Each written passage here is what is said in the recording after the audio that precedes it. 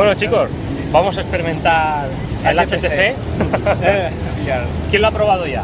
Ah, yo no, yo estoy O sea, ninguno de los tres. probarlo. Es un poco caro, pero bueno. Es un poco caro, sí. ya quiero tener uno en casa, a ver si hoy me lo llevo. Estamos en Mediamar.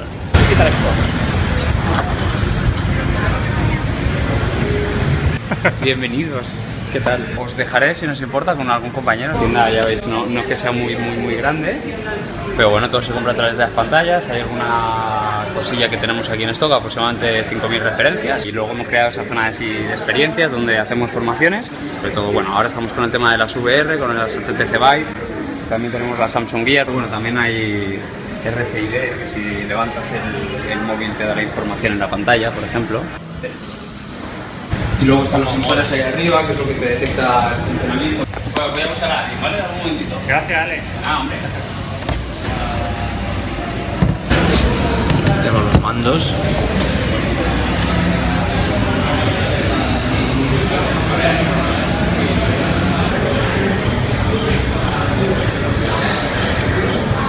Muy bien. Súper ligero. Tiene los seis botones. Y no sé cuán eficaz será con la coletita esta, pero vamos a probar. No me pongo todavía hasta que venga. Venga.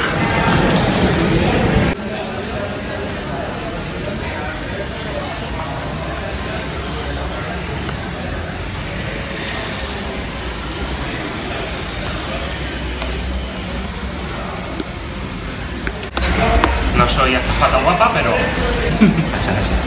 Estamos a punto de probar el HTC Vive. Tenemos aquí a Bernal, que es el especialista en las VR. No sé si nos puedes comentar algo sobre el aparatito antes de mostrárnoslo. Lo que vamos a ver es unas gafas de VR, de realidad virtual. Nos las pondremos y con unos cascos de gaming y tendremos dos mandos para poder utilizarlos como si fueran una extensión de nuestras manos en los diferentes juegos que probaremos. Pues va a empezar aquel que si le pasa algo ya nosotros nos vamos a quedar. Esto por aquí detrás y las gafas a tu medida. Ahora te las aprieto. bueno, tenemos aquí a Darío.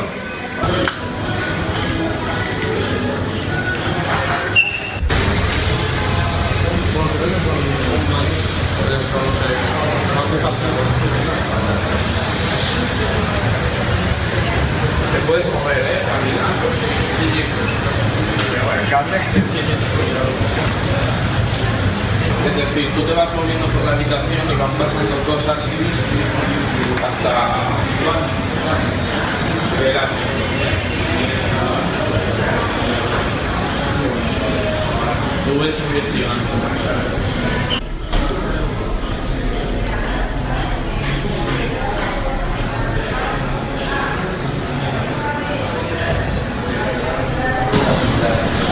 Ahí lo abierto.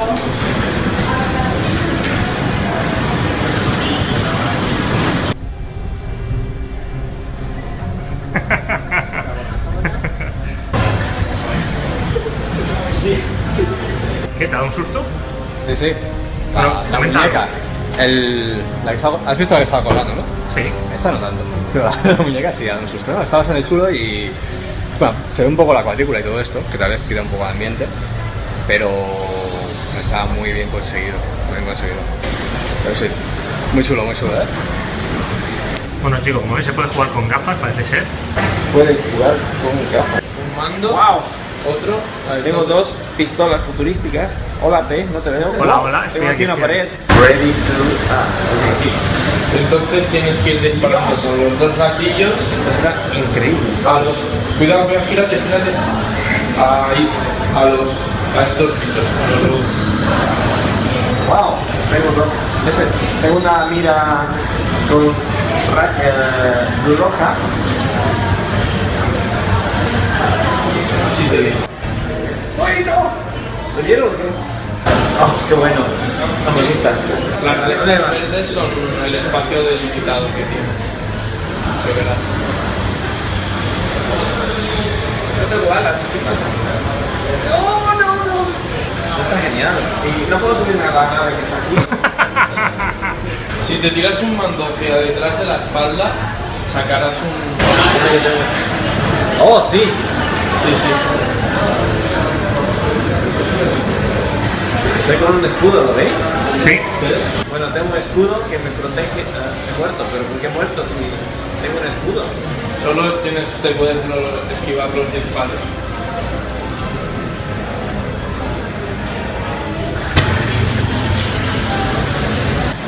Esto es brutal.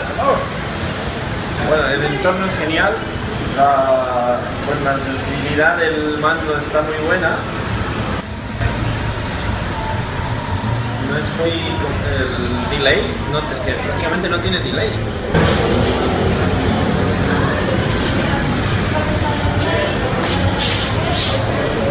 Los mandos están muy bien, son ligeros, no tiene delay. Ah, creo que soy malo en la puntería, nada más. Pero el 3D no tengo ninguna sensación de mareo ni nada. ¿Has jugado ya, Darío? Sí, sí, he jugado. Claro, has trasteado de arriba abajo. Sí, sí. ¿Y a ti qué te parece, personalmente? Personalmente, el futuro de los videojuegos está aquí, en la realidad virtual. ¿Tú crees? Sí. Porque se, se imagina uno esto un poco complicado, ¿no? Pero Complicado, pero lo que podéis ver en pantalla no tiene nada que ver lo que sientes tú dentro y la experiencia de juego que tienes es brutal, la verdad. ¿PlayStation VR o HTC? HTC, vale. ¿Sí? Sí. ¿Te gusta más? Sí. Bueno, Marcelo, explícanos un poco. Pues es genial, esto, esto es genial, a pesar que es una demo, está muy bien logrado, ¿eh? Está muy bien logrado de momento. Bueno, a ver, se podría trabajar más, yo creo, la resolución, pero está funcionando.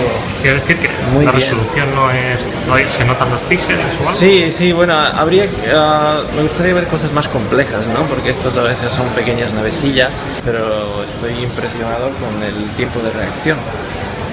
No hay ningún tipo de delay y wow, tendríamos que probar. Me gustaría ver otro juego más complejo para ver cómo, cómo funcionan las dinámicas o yo, las texturas, el, ¿no? Toda, todo el pixel este, pero wow. Pues eso, eh, como ha dicho Marcelo, es muy ligero.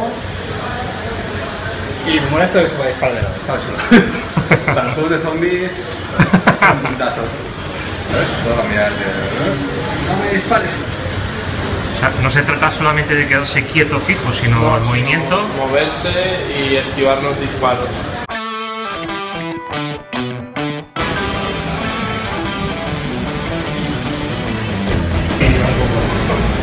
Parece que César César ha cogido el tequillo, está en el wave número 7. Es un maestro de este juego. ¡No! Está muy chulo. Sudando, tío. Gran saca.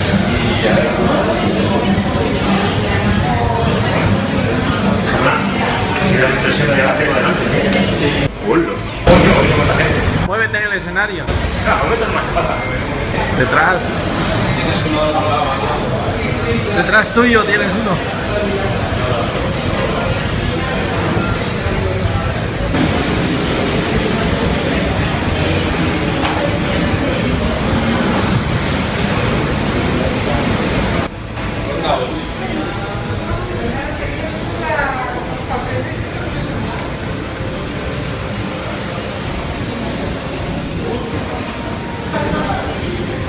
Qué guapa que está el arma.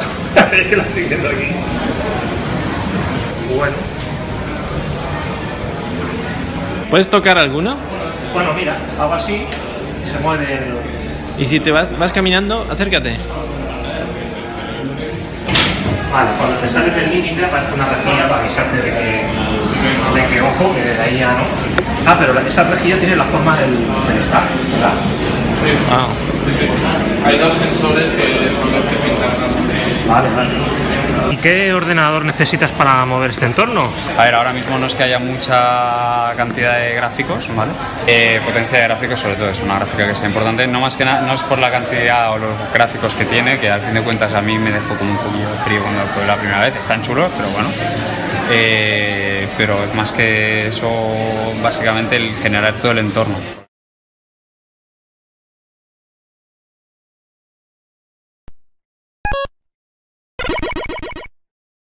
Acho, qué cabestro. Muy buenas, retrofrikis. bienvenidos a nuestro quinto podcast. Eh, quinto que ya, ya somos un buen team, porque hoy me encuentro reunido de bastante personajes. Para, sal por aquí, sal estaba escondido. Regresan con nosotros dos antiguos colaboradores, prácticamente con los que iniciamos, a falta de Víctor. Saludos, Víctor. No nos estará viendo, estará pobre durmiendo. Y tenemos a Marcelo. Tenemos a César, a Daniel, a Dan. Hola. Dan. y por Sky, pues tenemos a Susa. Hola, Hola Susa. Buenos días Susa. También tenemos a Jaime del canal MSXLAN. Hola, buenos días. Buenos días. Hoy no nos ha enchufado la cámara, Hoy no, hoy no, hoy. Pero le Dios podéis escuchar. Eso significa que no nos vas a enseñar en directo ningún cacharrito. Pues hoy no, no, no estoy en condiciones de demostrar nada. Pero bueno, sí estar aquí al pie del cañón, por supuesto. Y también tenemos, nos acompaña a Kike. Buenos días. Hola. Kike. Bueno, si desaparezco del plano porque estoy ahí con los líos de los cables y los botones y demás. Bueno, como veis, hemos empezado con un vídeo. Tuvimos la, la suerte de pro- probar, poder probar las HTC Vive Vive. Y me acompañó, me acompañó Marcelo y César ese día. Y bueno, queríamos experimentarlo, en nuestro caso los tres era la primera vez y queríamos ver un poquito, empezar a tocar cómo era el mundo de la realidad virtual. Eh, ¿Qué pensáis vosotros en general eh, de la realidad virtual? ¿Pensáis que puede ser el futuro, el sucesor de lo que actualmente son los videojuegos? Eh, ¿Qué opináis de la realidad virtual y qué pensáis de cara al futuro? ¿Quién quiere empezar? Empiezo yo.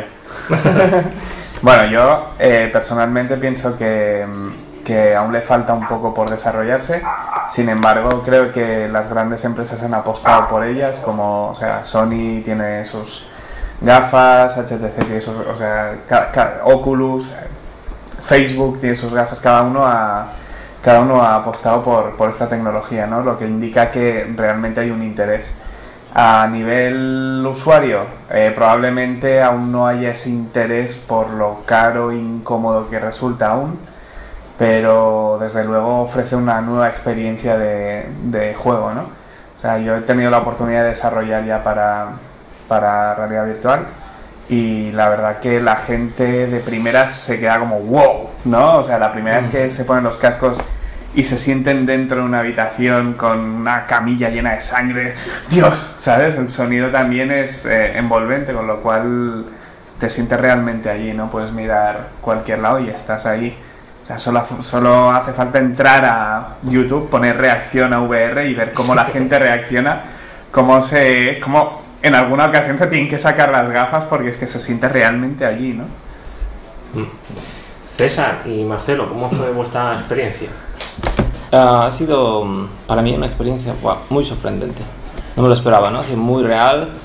Eh, yo creo que, eh, como dice Dan, es el, es el futuro. Tiene que ser el futuro, además, no solamente por, por la nueva experiencia del, del usuario, ¿no? Que se tiene ahora, que sí, ahora mismo no es muy accesible para muchos porque es muy caro. Pero yo creo que en breve esto va a ser la bomba, ¿no?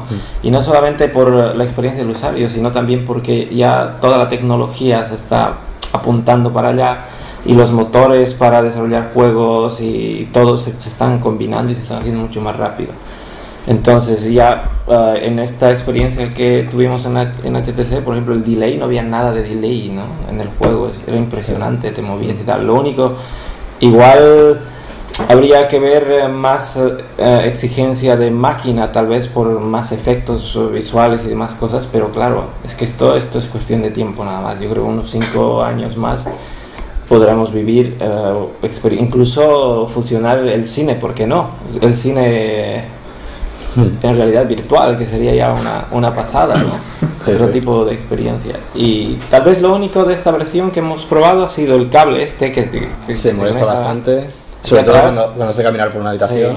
Sí, sí, cuando caminas porque necesitas a alguien que te lleve, ¿no? Como un asistente de juego, que te lleve por todo lado y no te deje... Pero por lo demás yo creo que esto va a ser la bomba. Hay, hay, perdón, hay, hay un complemento a, a esto que es una especie de caminador, ¿sabes? Que Sí, te meten Como un dentro. tacatá.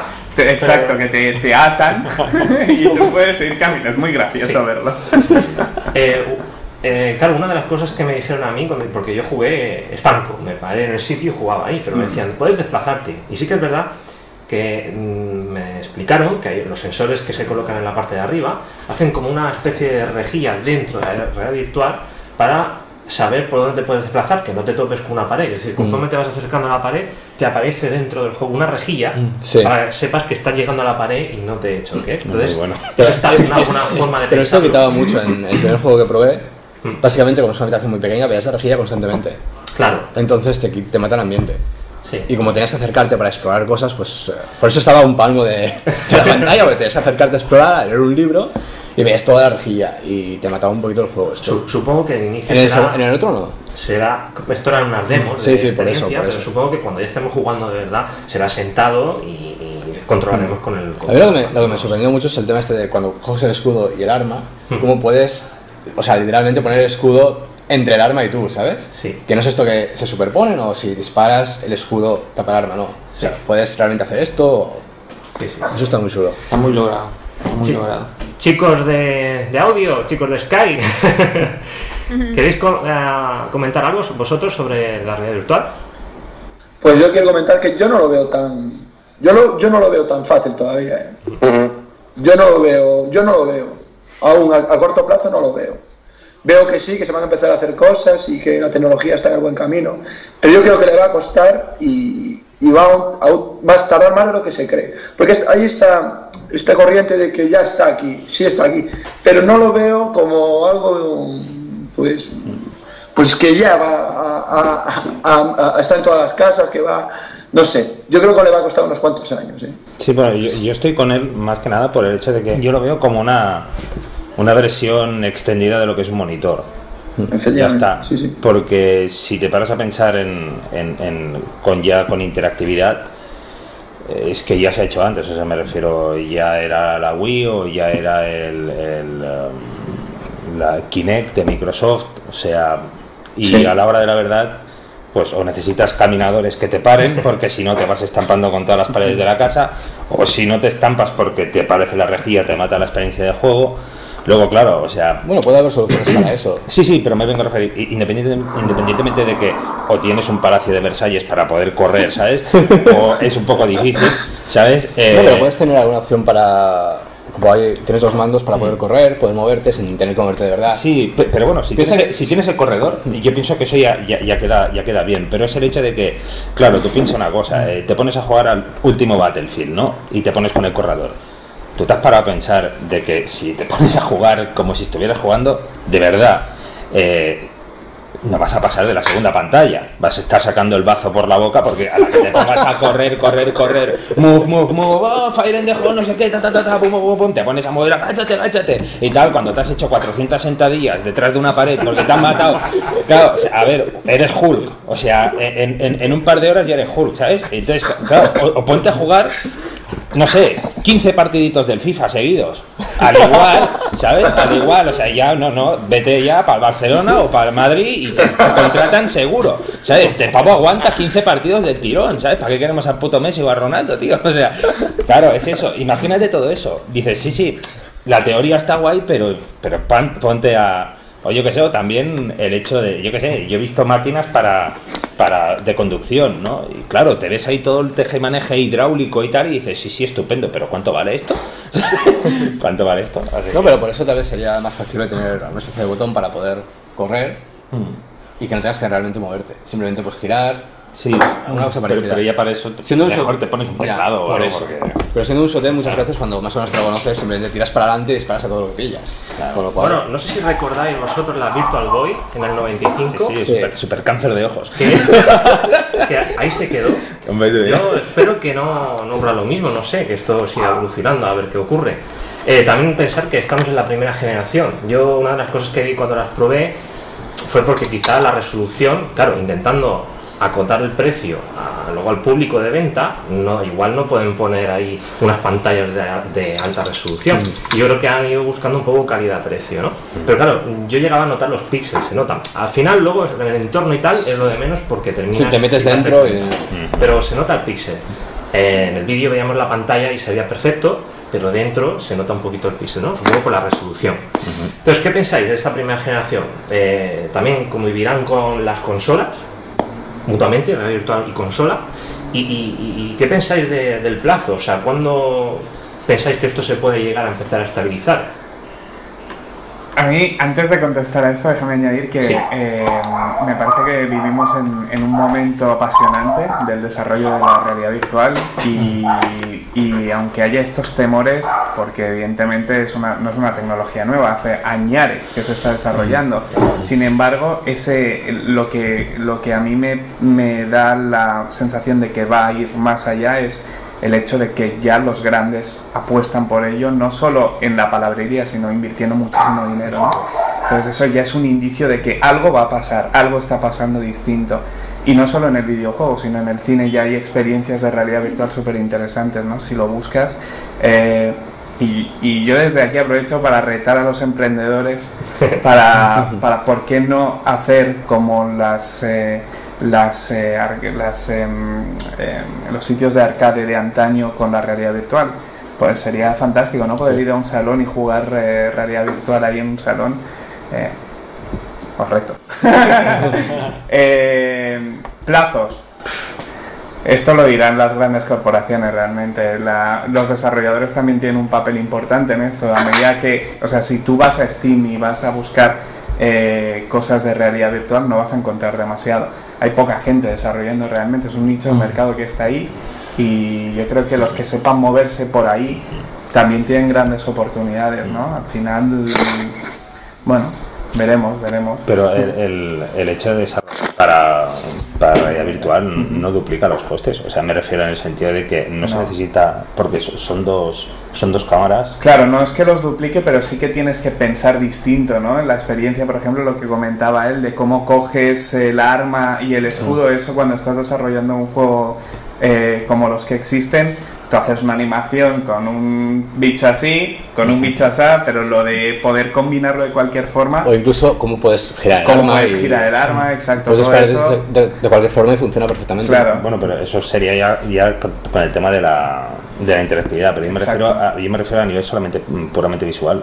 Eso no, no repercute en el usuario, el hecho de que tiene que tener una, una máquina el doble de potente, porque, o sea, realmente estás generando el juego dos veces. Mm, una, una con cada cámara. O sea, me refiero, eso no es. Que sí, que sí, o sea, que me encanta el hecho de, Mm. de- Porque yo te digo, yo lo pienso como un monitor. Yo de la interactividad la tengo muy apartada por lo que he dicho antes, pero, pero el tema de, de al menos la visualización, pienso que, bueno, eso es. Claro, o sea, necesitas maquinorras muy potentes para que no tenga lag o. Ahí se me escapa un poco, la verdad. El tema de qué necesidades de hardware necesitas, ahí se me escapa.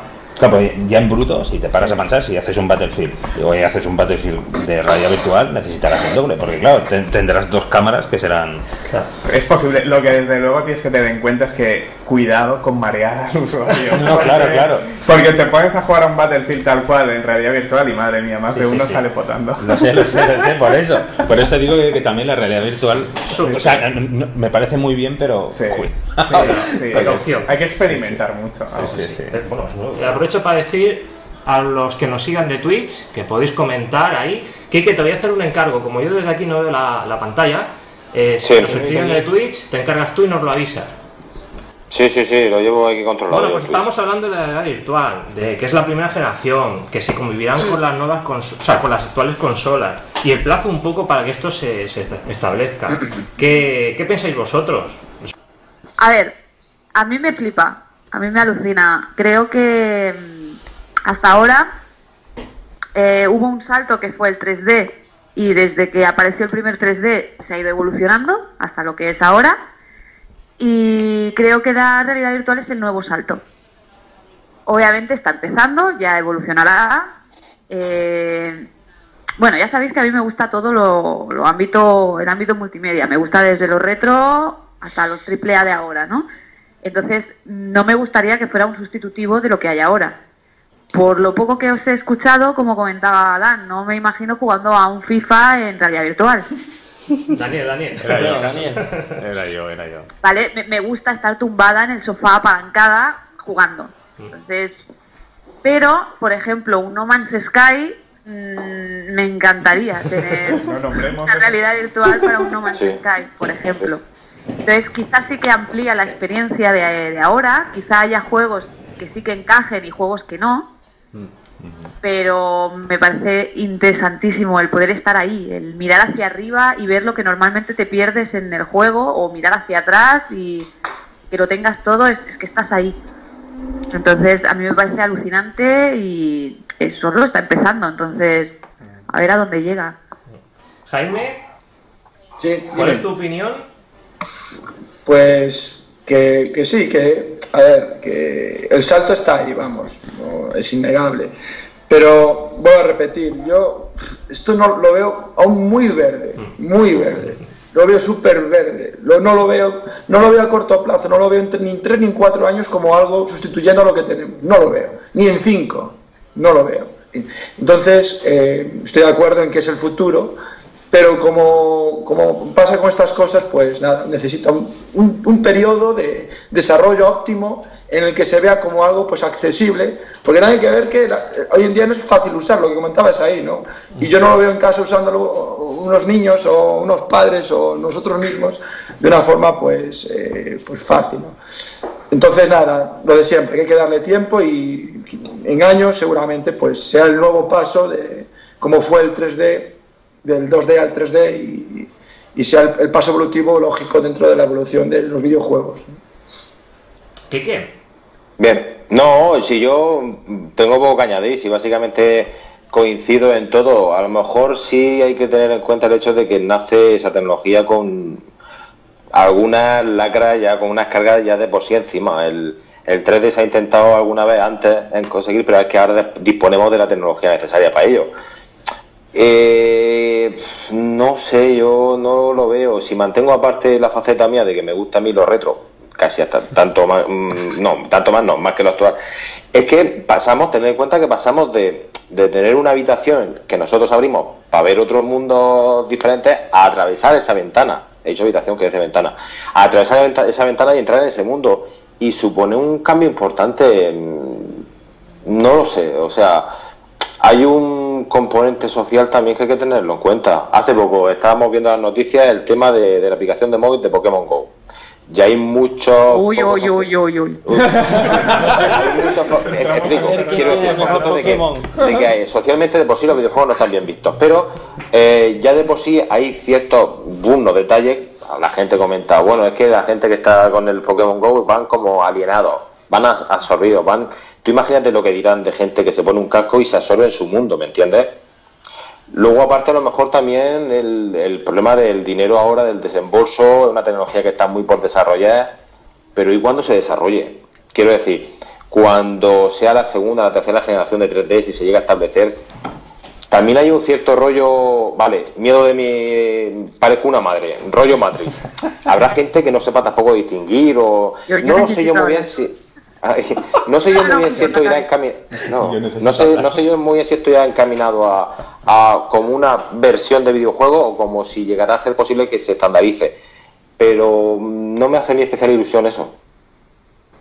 Susa, Yo, te como, como jugadora de Pokémon Go, No, yo también, ¿eh? vamos a ver, Ya la hemos desde, liado, ya. Ya lo hemos liado. desde siempre, eh, ahora menos, ¿no? Pero antiguamente, en- Se ha demonizado. el tema de los videojuegos estaba muy mal vistos. Sí. Eh, tú decías que jugabas a videojuegos y la gente se apartaba un poquito o cruzaba de la calle. Entonces, creo que a ninguno nos ha importado eso nunca, lo que piense la gente de que juguemos o no. Sí. Entonces, eh, a ver, eh, gente tarada hay siempre en todas partes. Entonces, Sí. gente tarada que juega videojuegos, obviamente la hay. Eh, privarme yo de una tecnología, de una experiencia increíble, porque cuatro mataos no hagan, se confundan o lo que sea, me parece un alto, un- o sea, un acto demasiado altruista para mí. O sea, yo soy egoísta y yo quiero jugar, aunque haya No, no pri- no privarte. es decir, mm, por ejemplo, con el Pokémon Go que la gente va bla bla bla bla bla y todo esto. Yo hace un tiempo no me planteaba nunca jamás salir por la noche a un parque porque estaba lleno de niños haciendo botellón. eh, este verano he ido y me he encontrado a un montón de familias con niños, abuelos, bla, bla, bla, bla, bla, jugando a Pokémon Go. Entonces, eh, no creo que los videojuegos afecten negativamente a nadie. Simplemente hay gente que está mal, que entonces obviamente le afectará, pero igual que podría afectar una película o igual que poner las noticias y ver los muertos, porque ahora ya las ponen sin problema, te puede trastornar, trastornar creo yo. Sí. Entonces, eh, que te puedes confundir, hombre, con la realidad virtual, pues no sé. Sí, pero O sea, no, no, no, no me refiero a que, al hecho de que la tecnología pueda no ser buena, me refiero a que nace con esa lacra social y es un problema para el desarrollo de esa tecnología. Pero no lo ha sido nunca. ¿Por qué lo va a ser ahora? Porque ya, me- ya es. Yo, yo lo veo desde el punto de vista de, de gente que opina así y dice, va, se pone su casco y se aísla del mundo. Ahí, rollo autista, venga, ahí. Claro, eso siempre ha obviamente. pasado, sí. Eso queremos. sí, o sea, pero- vamos- pero- es pero eso es decir, con- pero eso es con yo todo. cuando juego un videojuego no pretendo estar en contacto con el mundo precisamente. O sea, creo. Bueno, sí, sí, pero es un problema a la hora de, de fama, de, de esa tecnología, de, de, de venta, de desarrollo, de, no lo sé, no sé chicos, muy bien cómo explicar lo que te quiero Quiero decir. hacer un. No, no, no, yo te entiendo, pero yo creo que si no ha sido una lacra cuando el tema de los videojuegos estaba muy mal visto, Mm. eh, ahora que está socialmente más establecido, es más habitual, todo el mundo, aunque no te gusten los videojuegos, juegas, ya no es algo de... Y es rentable, sobre todo, es muy rentable, no creo que ahora eso sea un problema. ¿Que habrá quien se queje? Pues obviamente, siempre De todas formas, yo creo, coincido en ti- contigo en, el tema de que yo a mí sí me llama mucha atención para ciertos temas, para ciertos, para ciertos títulos, como por ejemplo como el No Man's Sky que has dicho. Claro, o- exacto, no para todos, para todos Oye, no. un, un Animal Crossing así sería tremendo. Yo loco. Bueno, eh, Marcelo, dime. Sí, ah, yo quería resaltar una cosa eh, que lo ha dicho Dan un poco, es de que, mm, claro, el Oculus apareció en el 2012, ¿no? Más o menos, como un experimento, qué sé yo, de- de- y tal. Y luego lo compró Facebook en el 2014. Entonces estamos a 2016, que todavía no ha terminado 2016, y ya se, se han sacado muchas cosas con, con, con este tema. ¿no? Lo que el punto es de que se está invirtiendo muchísimo dinero en esto, muchísimo. Y si, un, si, si una empresa como Facebook está invirtien- invirtiendo en esto, es que el desarrollo va a ser muy rápido, ¿no? porque realmente están apostando por esto y ellos quieren crear, y, yo creo, una realidad alternativa a la que estamos, uh, a la real, ¿no? Entonces van a apostar por ahí. Yo, yo sigo insistiendo de que esto va a ser, eh, sí, los videojuegos también, se van a encontrar otras maneras, pero yo creo que como hay muchas empresas muy fuertes que están invirtiendo en esto, va a salir esto mucho más rápido. O sea, no estoy hablando de 5 años tal vez. Es que va a ser entre unos 5 o 10 años máximo, yo creo que vamos a ver un cambio. Y también esto va a marcar, como otros juegos que han salido, el comportamiento de, de jugar, de todo, ¿no? De cambiar, de la forma de, de percibir que no estamos preparados. Igual, no sé qué. Re- ¿Recordáis la un Mowerman? O sea, el cortado de césped. sí. Sí, hombre, por favor. Sí. Esto creo que fue en el 92, si no me equivoco. Sí. Eh, pues bueno, no sé dónde hay, porque yo recuerdo cuando veía esa película como algo de ciencia ficción que no sé si llegaría a ver en mi vida y parece que ya empieza a asomar un poco ahí el hocico, ¿no? Esa tecnología. Eh, última pregunta os hago ya, vamos a hacer, porque cambiaremos ya al tema retro. Queríamos comentar un poco todo esto, creo que es interesante, aunque no sea dentro del mundo retro. Eh, ¿Por cuál sistema apostáis? ¿Y por qué de los que al menos ya existen? A mí me parecen todos iguales. Y, y solo quiero hacer un pequeño hincapié y decir de, eh, eh, eh, la gente mezcla, no mezcléis la visualización, que es lo que digo, como si fuera un monitor en el que te metes dentro, con la interactividad. Van, van separadas.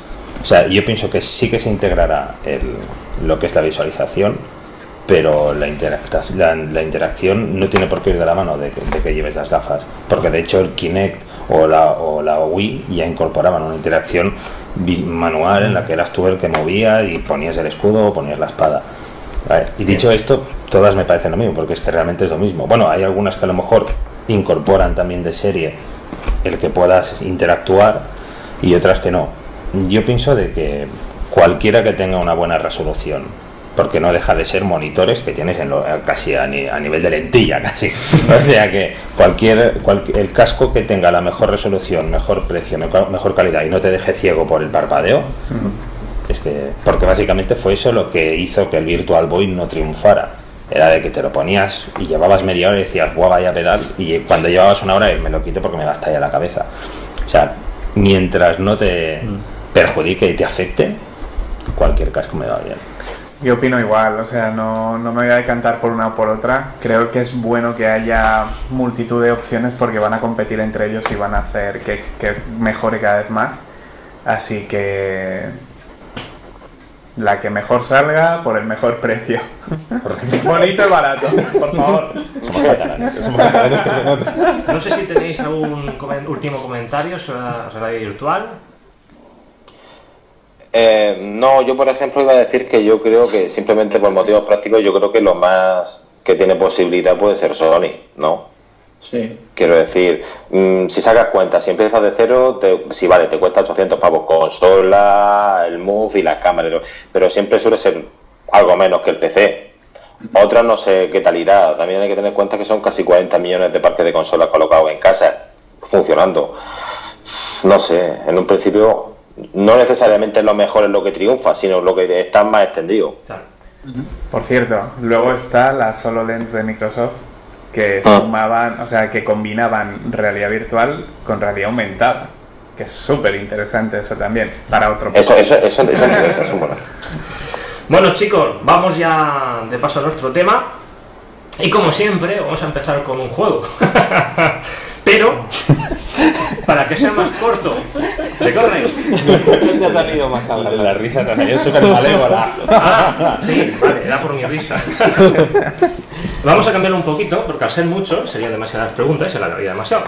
Así que, eh, simplemente, ya que estamos hablando de realidad virtual, os voy a pedir que nombréis películas que hagan referencia a la realidad virtual.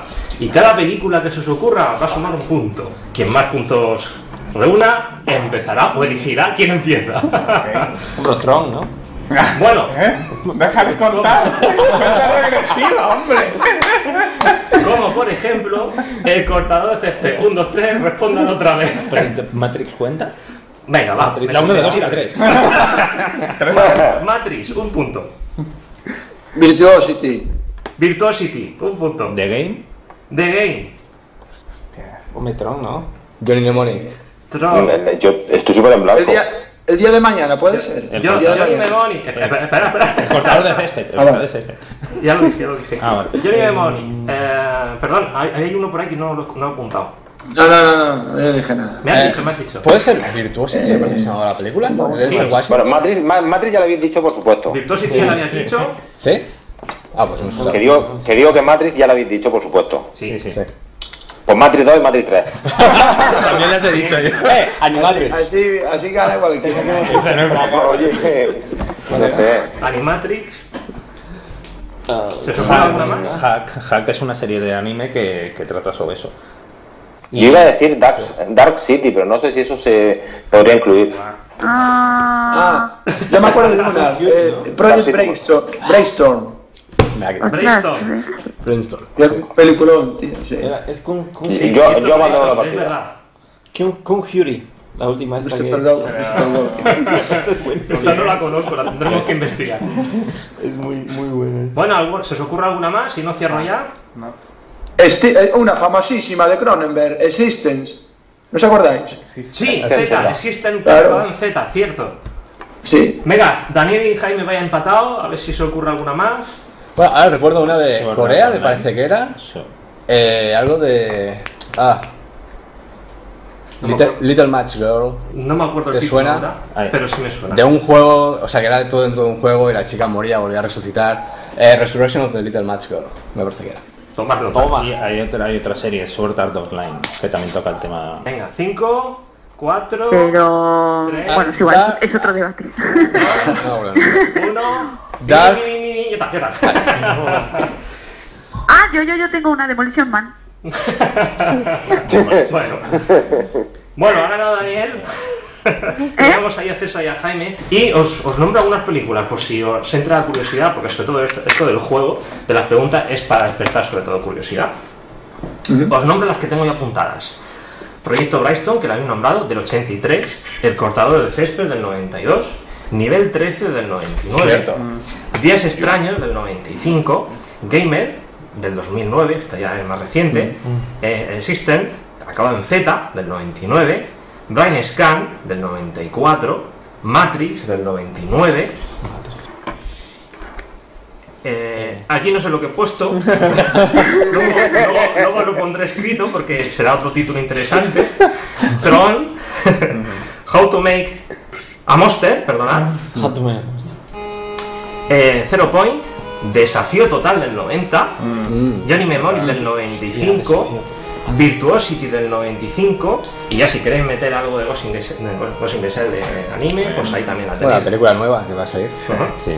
Bueno, está bien. Investigar a todos los. Y Avalon, ¿no? Avalon. Bueno, también. sí, Avatar, cierto. Avatar, claro. Avatar, bueno. ya nos van surgiendo ahí más. Y para evitar extendernos con la duración del vídeo y con intención de mejorar, habiendo recogido vuestros feedbacks, divido esta sesión en dos partes. En la siguiente parte tratamos de míticas arcades. No os lo perdáis y compartir el vídeo si os ha gustado. Hasta pronto y mucho vicio.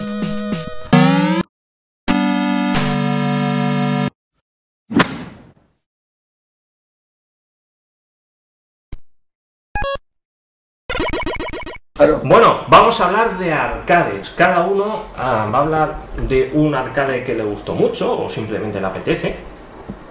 Un título de arcade. Y va a empezar Daniel o quieres elegir quién va a empezar en tu lugar. Tienes ahí el comodín de todo. Cabrón, sin odio, ¿eh? Viene la venganza. La confianza. Sí, ya te digo. Qué bueno estuvo. Bueno, César. Bueno, ¿lo vas a poner por ahí? Sí, sí. Vale, pues yo voy a hablar de un juego del 92 de Capcom, que es el eh, Warriors of Fate. No, no es este. Tú hablando. Bueno, Warriors of Fate, que es la segunda parte del Dynasty Wars, y que a su vez es la cuarta parte de una serie de juegos basadas en un manga que se llama Tenshio Kurao, que está basada en la historia del romance de los tres reinos, y en concreto este en la batalla del acantilado rojo, que para los que seáis un poco seguidores del cine de Hong Kong, pues hay una película bastante buena, de muy cortita, son cuatro horas de película, eh, que se llama eso, Acantilado Rojo, dirigida por John Woo y que está protagonizada pues, entre a ver, gente que actores que podrían ser conocidos, Takeshi Kaneshiro, eh, medio japonés, medio hongkonés, si hay algún- alguien que explique de, pues de, de Japón y demás, pues seguramente lo conoce. Eh, Chao Wei, que es una actriz que a Son Abe le gusta mucho. No lo digas por aquí. Uy, es verdad que esto es de... Y Tony Leung, que es un actor bastante famoso en Hong Kong, pero bueno, aquí es más conocido por alguna película con eh, Soy un Fat, como Hardboiled y demás. Y bueno, es una película bastante interesante y lo que es el juego en sí, pues como he dicho, hay dos partes, yo voy a hablar de la segunda, pero en relación a la película, Dynasty Wars cubre un poco lo que es las dos primeras horas de la película y... eh, este en concreto, Warriors of Fate, cubriría lo que es la, la segunda parte. Bueno, el argumento, pues, es, es una novela histórica, o sea, son hechos más o menos reales. Está basada en la transición entre la dinastía Han y el siguiente periodo histórico, en el año 208, una batalla y demás. Y bueno, pues tú puedes controlar a cuatro, me parece, de los que llaman los cinco tigres, que eran cinco guerreros que debían pues derrotar a la dinastía Han y que eran considerados rebeldes, traidores y demás. El más importante de ellos y más conocido es Quan Yu, que es el actual dios de las tríadas en Hong Kong. Tío típico, que habéis visto, seguramente habréis visto gordo, con la barba, el- la lanza esta con la hoja, no sé. Y bueno, hay muchos juegos basados en estas historias. El, no sé, el Sango Fighter, a lo mejor os suena. Sí, Sango Fighter. me suena de. Es un de los juegos que salieron por aquí, pero bueno, son juegos que en Asia son súper conocidos y todo el mundo juega algún Sí, sí. romance de los tres reinos, ¿no? Y este en concreto pues es uno de los más famosos, me lo recomendó una amiga de Hong Kong y por eso pues, ahí en Asia pues es esto súper, súper conocido, ¿no? El juego en sí pues bueno, tiene bastante mala crítica, hay que decirlo, porque el los movimientos de los enemigos son muy limitados, básicamente juegas con dos botones, tienes dos movimientos y luego pues lo combinas con saltar, avanzar y demás. Ahí, el primero, muy bien. ¿Le echamos una partidita aquí de arcade? Y bueno, eh, en el juego empiezas con un caballo, que es un coñazo, pero en cuanto te pegan, te caes el caballo, no lo vuelves a pillar, pues es una mierda. Lo del caballo es una cosa del primer juego, el primer juego es a caballo, completamente. Y en este pues puedes elegir, lo mejor es que no te subas, muy bien, si me gusta. Pilla los ítems, pilla los Y bueno, pues estilo como Golden Axe de estos juegos tienes para adelante, eh, puedes tirarse más o menos simulado. Y bueno, tienes bastante...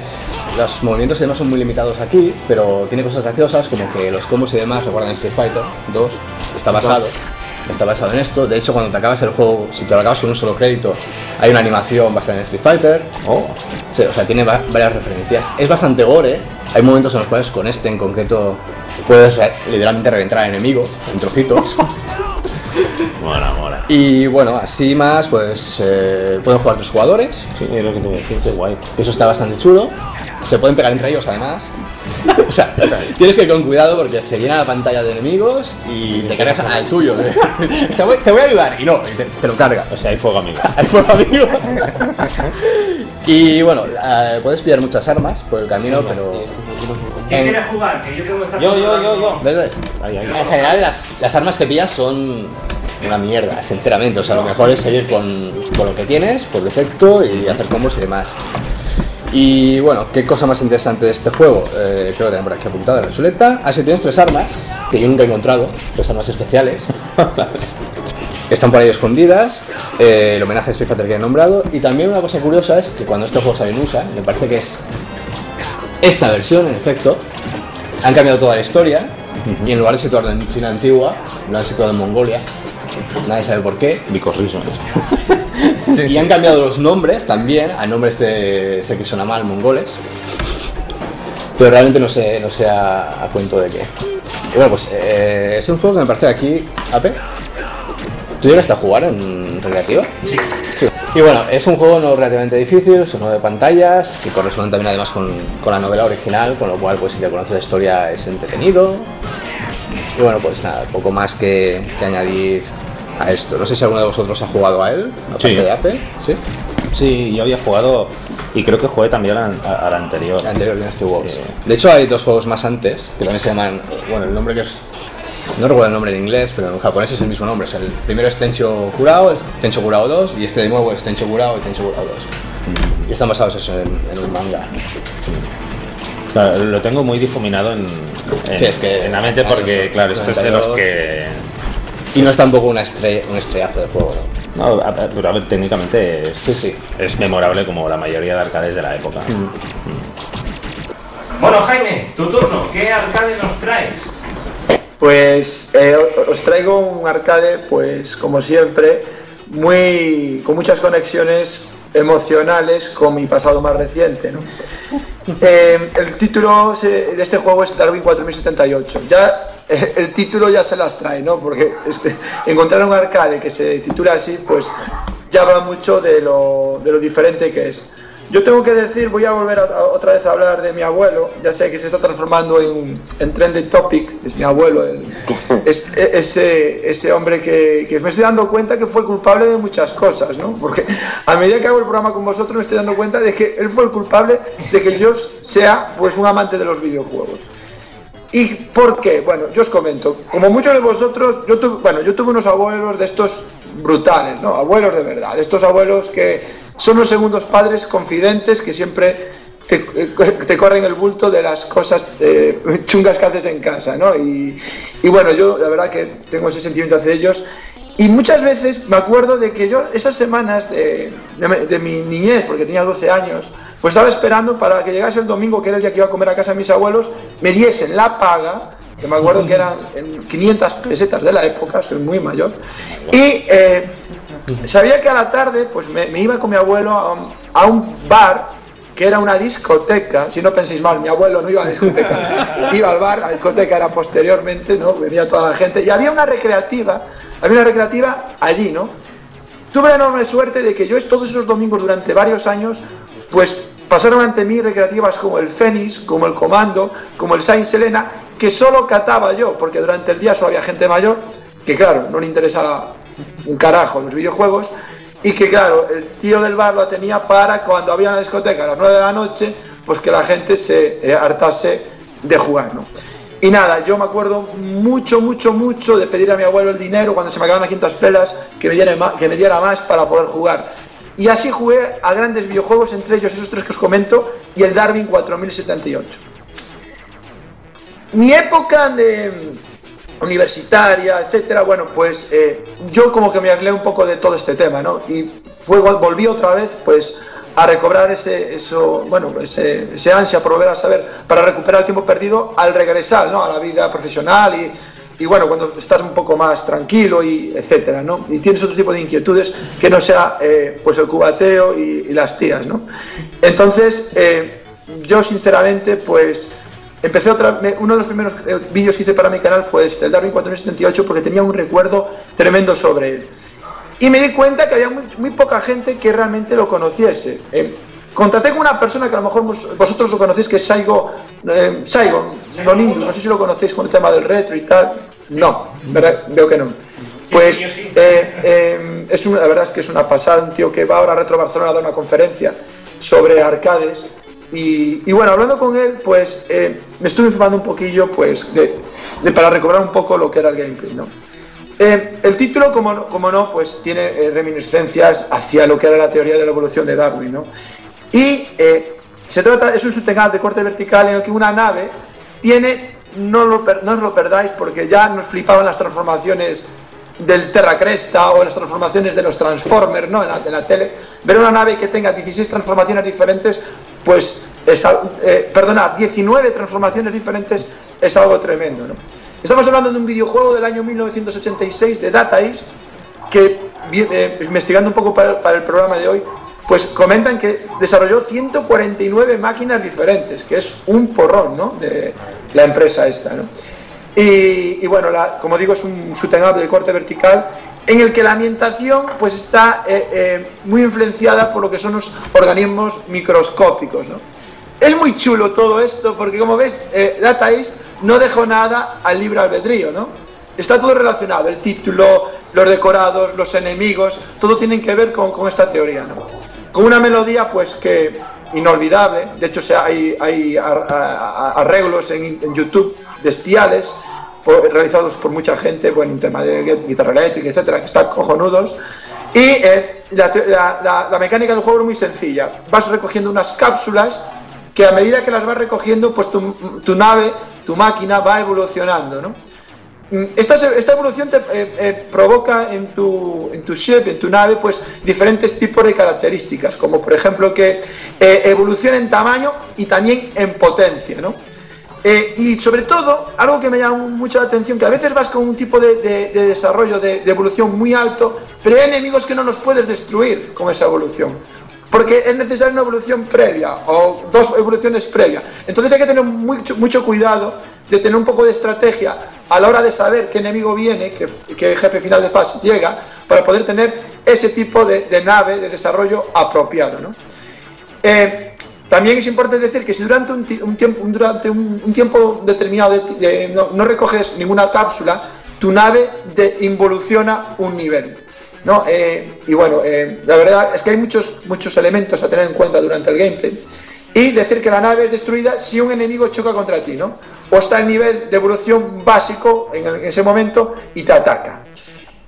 Eh, la, la mayor evolución de, las naves, la, más tremenda, es una en la que te transformas en un murciélago gigante, ¿no? Eh, se llama Blackdane y es tremendo ver cómo la pantalla eh, disparas murciélagos más pequeños, bueno, y eres indestructible durante un periodo de tiempo determinado. Em, en relación a las conversiones, bueno, aquí también me toca mucho la fibra, porque la única conversión que se realizó de, este de esta recreativa fue para un MSX2 y por Hanson, ¿no? y no hay ningún tipo de evolución. Y seguro que hay un videojuego que ya eh, os, eh, os, hará recordar a este, que es el B-Wings, seguro que lo conocéis, de NES.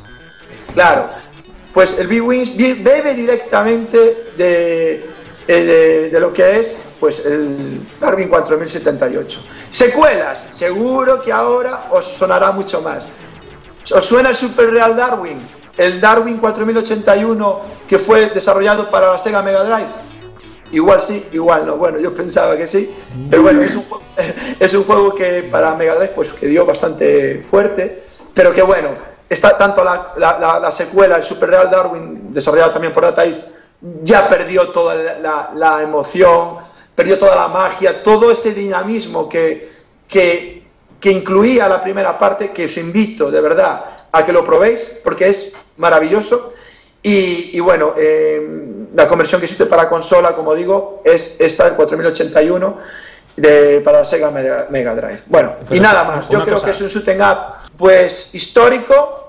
Eh, desde aquí quiero, pues, a través del, pues, del programa de APE, pues, pues eh, un poco eh, dar a conocerlo, porque, porque la gente que lo pruebe, que lo prueba, pues después de, comentarlo y tal, pues le dice, Jaime, realmente es al que le gusta el shooting ups, porque también tiene que gustarte un poco los shooting ups, dice, no, me, no, no lo conocía y realmente a, partir de ahora se, se, transforma en imprescindible. Y eso es el mejor cumplido que me hacen porque es como que compartes esa magia y, esa, bueno, y ese cariño por el videojuego. Y bueno, y nada más, eso, esto es a grandes rasgos que puedo decir del, del Army 4078. El juego que voy a comentar fue un juego que lo descubrí por el MAME, ¿vale? el multi-arcade este, el emulador y, fue así, en un rastreo de decir, me voy a jugar a todos los juegos que hay en el, en, el MAME y dije, bueno, este es el que toca hoy. Y me sorprendió porque primero está desarrollado por Irem, que yo la tenía por una, una desarrolladora que solo hacía juegos de nave, eh, shoot em ups, y me sorprendió porque no, es un beat em up al estilo Final Fight, eh, con una cierta profundidad y y pues muy complejo, ¿no? Flipé con los gráficos, que vi que están muy, muy, muy, muy elaborados. Eh, me informé un poco, ¿no? Para, para el, para el Freaky Room y vi que, bueno, pues usaba una placa base IREM M92, que es del 91, y que había hecho juegazos como el Gun Force 1 y el 2, In the Hand, Ninja Baseball Batman, Perfect Soldiers, R-Type Leo, que tampoco lo conocía este R-Type.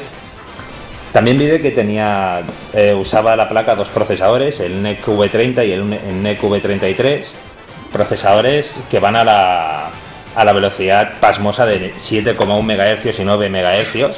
O sea, mi Pentium 120, que fue mi primer ordenador, era como 100 veces más potente, pero bueno. Eh, también el, el, hecho que flipé, ¿no? De que el procesador NEC V33 es el equivalente a un 286. O sea, tienen la misma arquitectura, ¿no? Dices, joder, sí que daba de sí el, el procesador este, ¿no? Que bien usado estaba. También una, anécdota que, me, que, vi, que averiguando los chips de sonido, que usaba el eh, YM2151, que se ve que ese chip se usaba en algunos sintetizadores eh, de sonido externos que se podían conectar a MSX. O sea, esto, esto me sorprendió porque dije, hostia, mira, o sea, siempre que, que comenta algo Jaime de MSX, dije, mira, pues un, un, sintetizador de sonido externo. Eh, luego también, bueno, fue desarrollada en el 92 y se hizo una conversión en el 95 para Super Nintendo, que solo salió en Japón. Y bueno, eh, Mm, varias cosas que me sorprendieron fue de que resulta que había hicieron dos versiones una para Japón porque fue la, que, la primera y luego para el resto del mundo las del resto del mundo estaban censuradas no pero así como normalmente los americanos tienden a censurar tema sexual aquí no aquí fue tema de violencia o sea por ejemplo los enemigos en la versión japonesa iban con con eh, puñales con botellas rotas con hachas y en la versión de, del mundo, ¿no? La, la, versión World, iban con palos y tablones, ¿no? Es como te voy a reventar, pero sin, sin cortarte. Porque claro, es, es, como es muy violento que te abra la cabeza o te pinche con una botella, pero si te abro la cabeza con un bate, no. Entonces, claro, hay violencia y violencia. Eh, está ambientado ¿no? en, un, en un futuro de estos distópicos, ¿no? por ahí el 2043 y es un poco lo de siempre, ¿no? El gobernador de la ciudad, eh, pues eh, han tomado a la ciudad los chungos del barrio y pues decide llamar a unos vigilantes, ¿no? Como, como se les llama a los que van repartiendo hostias por la calle. Es un juego que tiene puntazos muy raros, ya te digo. por ejemplo, esto, ¿no? Que el gobernador coge y dice, mira, pues de una lista de ciento y pico vamos a, vamos a seleccionar a tres. Por ejemplo, este karateka que ha matado a una persona en defensa propia, a esta chica que se ha hecho vigilante porque le mataron al novio y a este jugador, exjugador de fútbol americano que, que también tiene un, un caso de, de acusación falsa de asesinato. Y entonces a estas tres personas poco violentas las vamos a dejar en la calle y que revienten a todo el resto. La versión de eh, genérica ¿no? que hicieron, eh, pues le quitaron tema de jugabilidad, le quitaron movimientos, le quitaron ataques, le quitaron eh, también tema de sonido, es algo que tampoco llegué a entender, si el hardware era el mismo, ¿por qué le quitaron samples de sonido? En la versión japonesa tiene, es mucho más compleja, es mucho más elaborada, ves que tiene más samples de sonido, tiene como más, parece que tenga más canales. Recuerda también un poco a, por los enemigos, recuerda un poco a Mad Max.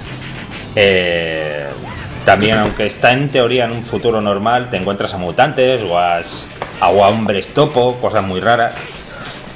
Luego el jefe de la segunda pantalla es una sadomasoquista, obesa, que sí, bueno, es, es una dominatrix, mejor dicho, pero sí, que cuando le pegas llora y, se, y va con una especie de martillo neumático y te intenta taladrar y reventarte. eh, o sea, lo norm- en este juego el, el punto así como normal no está muy... o sea, es un poco bizarro. Luego el, a nivel de jugabilidad y de, y de, de gameplay te encuentras como cosas un poco raras. Como el hecho de que los ítems de vida, ¿no? De recuperación de vida, son animales vivos. Un caracol. O sea, te comes caracoles, eh, ratas, eh, ranas, te comes cerdos, pero todos además muy cucos. O sea, te ves ahí enemigos muy, pues digo, o sea, bichillos muy simpáticos y te los, te los comes. Los zampas, claro. Sí. Luego, los objetos de que, tienen, que son así como contenedores eh, también son raros. O sea, te puedes encontrar que un salmón de metro y medio lo, lo usas como barril, lo revientas contra alguien y salta. Saltan a lo mejor de dentro, salta un, un ítem de vida. O salta también ítems de puntuación como una tele. De un salmón sale una televisión que te muestra a lo mejor que te muestra a lo mejor el, el R-Type. O sea, se hacen publicidad entre ellos mismos. Luego, también, eh, cuando te acabas el juego, hay un camión de policía. Hace, ves que hace referencia al tanque que se usa en el Moon Patrol, que es un juego también de Irem. Y en los flyers de, de un juego que he dicho antes, el Ninja Baseball Batman, eh, hay un dirigible en el que también se, se hace publicidad de, de Undercover Corps. Y bueno, también eh, decir de que el juego en Japón tuvo mucho éxito, tanto que llegó a tener un manga. Y, sí, y pues, pues salió por el 93 el manga. También eh, es muy exagerado el juego a la hora de, de armas arrojadizas, porque puedes coger columnas de, de granito, ¿sabes? De, de- hormigón armado y usarlas como bate, con una mano. ¿sabes? Es, es un poco como un poco exagerado. Puedes pillar Humvees, jeeps enormes, usarlos también arrojadizamente. Es juego un poco así exagerado y flipado. Y uno, otra, una cosa que me sorprendió mucho, aparte de que hicieron una versión, o sea, que era la versión japonesa pero traducida, porque la gente, hubo gente que probó las dos y se quejó porque se resintió mucho lo que es la jugabilidad. Eh, es que el equipo que participó en el desarrollo del juego se acabó marchando años después y creó Nazca Corporation, que fue que fueron los creadores del Metal Slug. O sea, que la gente, la gente que, que hizo el Metal Slug realmente hizo este juego y otros cuantos, como Hammer and Harry o Super Soldiers, Gun Force 2 o In the Hand. In the hand. In the Hand, juegazo, juegazo. Y ya está. Sí. Susa, Sí, ¿cuál es tu juego? Eh, bueno, Final Fight es una saga de juegos que empezó con este en los 90 más o menos. Es un, pues como el anterior, es un beat'em up y eh, muy parecido, la verdad. Eh, la historia, pues básicamente, el nuevo alcalde de la ciudad de Metro City está luchando contra el crimen y los, bueno, se enfadan con él y secuestran a su hija. Entonces se tiene que tomar la justicia por su mano y él, el prometido de la chica y otro señor que no recuerdo muy bien quién pintaba, se van a luchar por las calles para conseguirla. Eran amigos. Entonces, Eh, Bueno, era- eh, Guy y. Cody eran amigos. no me acuerdo. La verdad es que no tenía mucha oportunidad de jugar a recreativas porque en mi ciudad solo había una sala recreativa y no tenía este juego. Pero lo recuerdo con cierto cariño. Bueno, yo jugaba básicamente al Final Fight 2, que estaba para Super. Pero este en concreto, de vez en cuando, cuando íbamos a una ciudad cercana, que había un centro comercial muy grande con una sala recreativa, estaba ahí. Y a veces, cuando se alineaban los planetas y mis padres estaban de buen humor, me dejaban jugar. Entonces, no es un juego al que le he echado muchas horas de juego, pero las pocas que jugué, pues eran con muchas ganas. Eh, lo que más me gusta también de este, bueno, este estilo de juego me gusta mucho, que lo echo de menos. Si quieren volver a hacer algo parecido, yo lo dejo ahí, ¿eh? para los ejecutivos que nos están viendo, de Sony y todo eso, que lo desarrollen.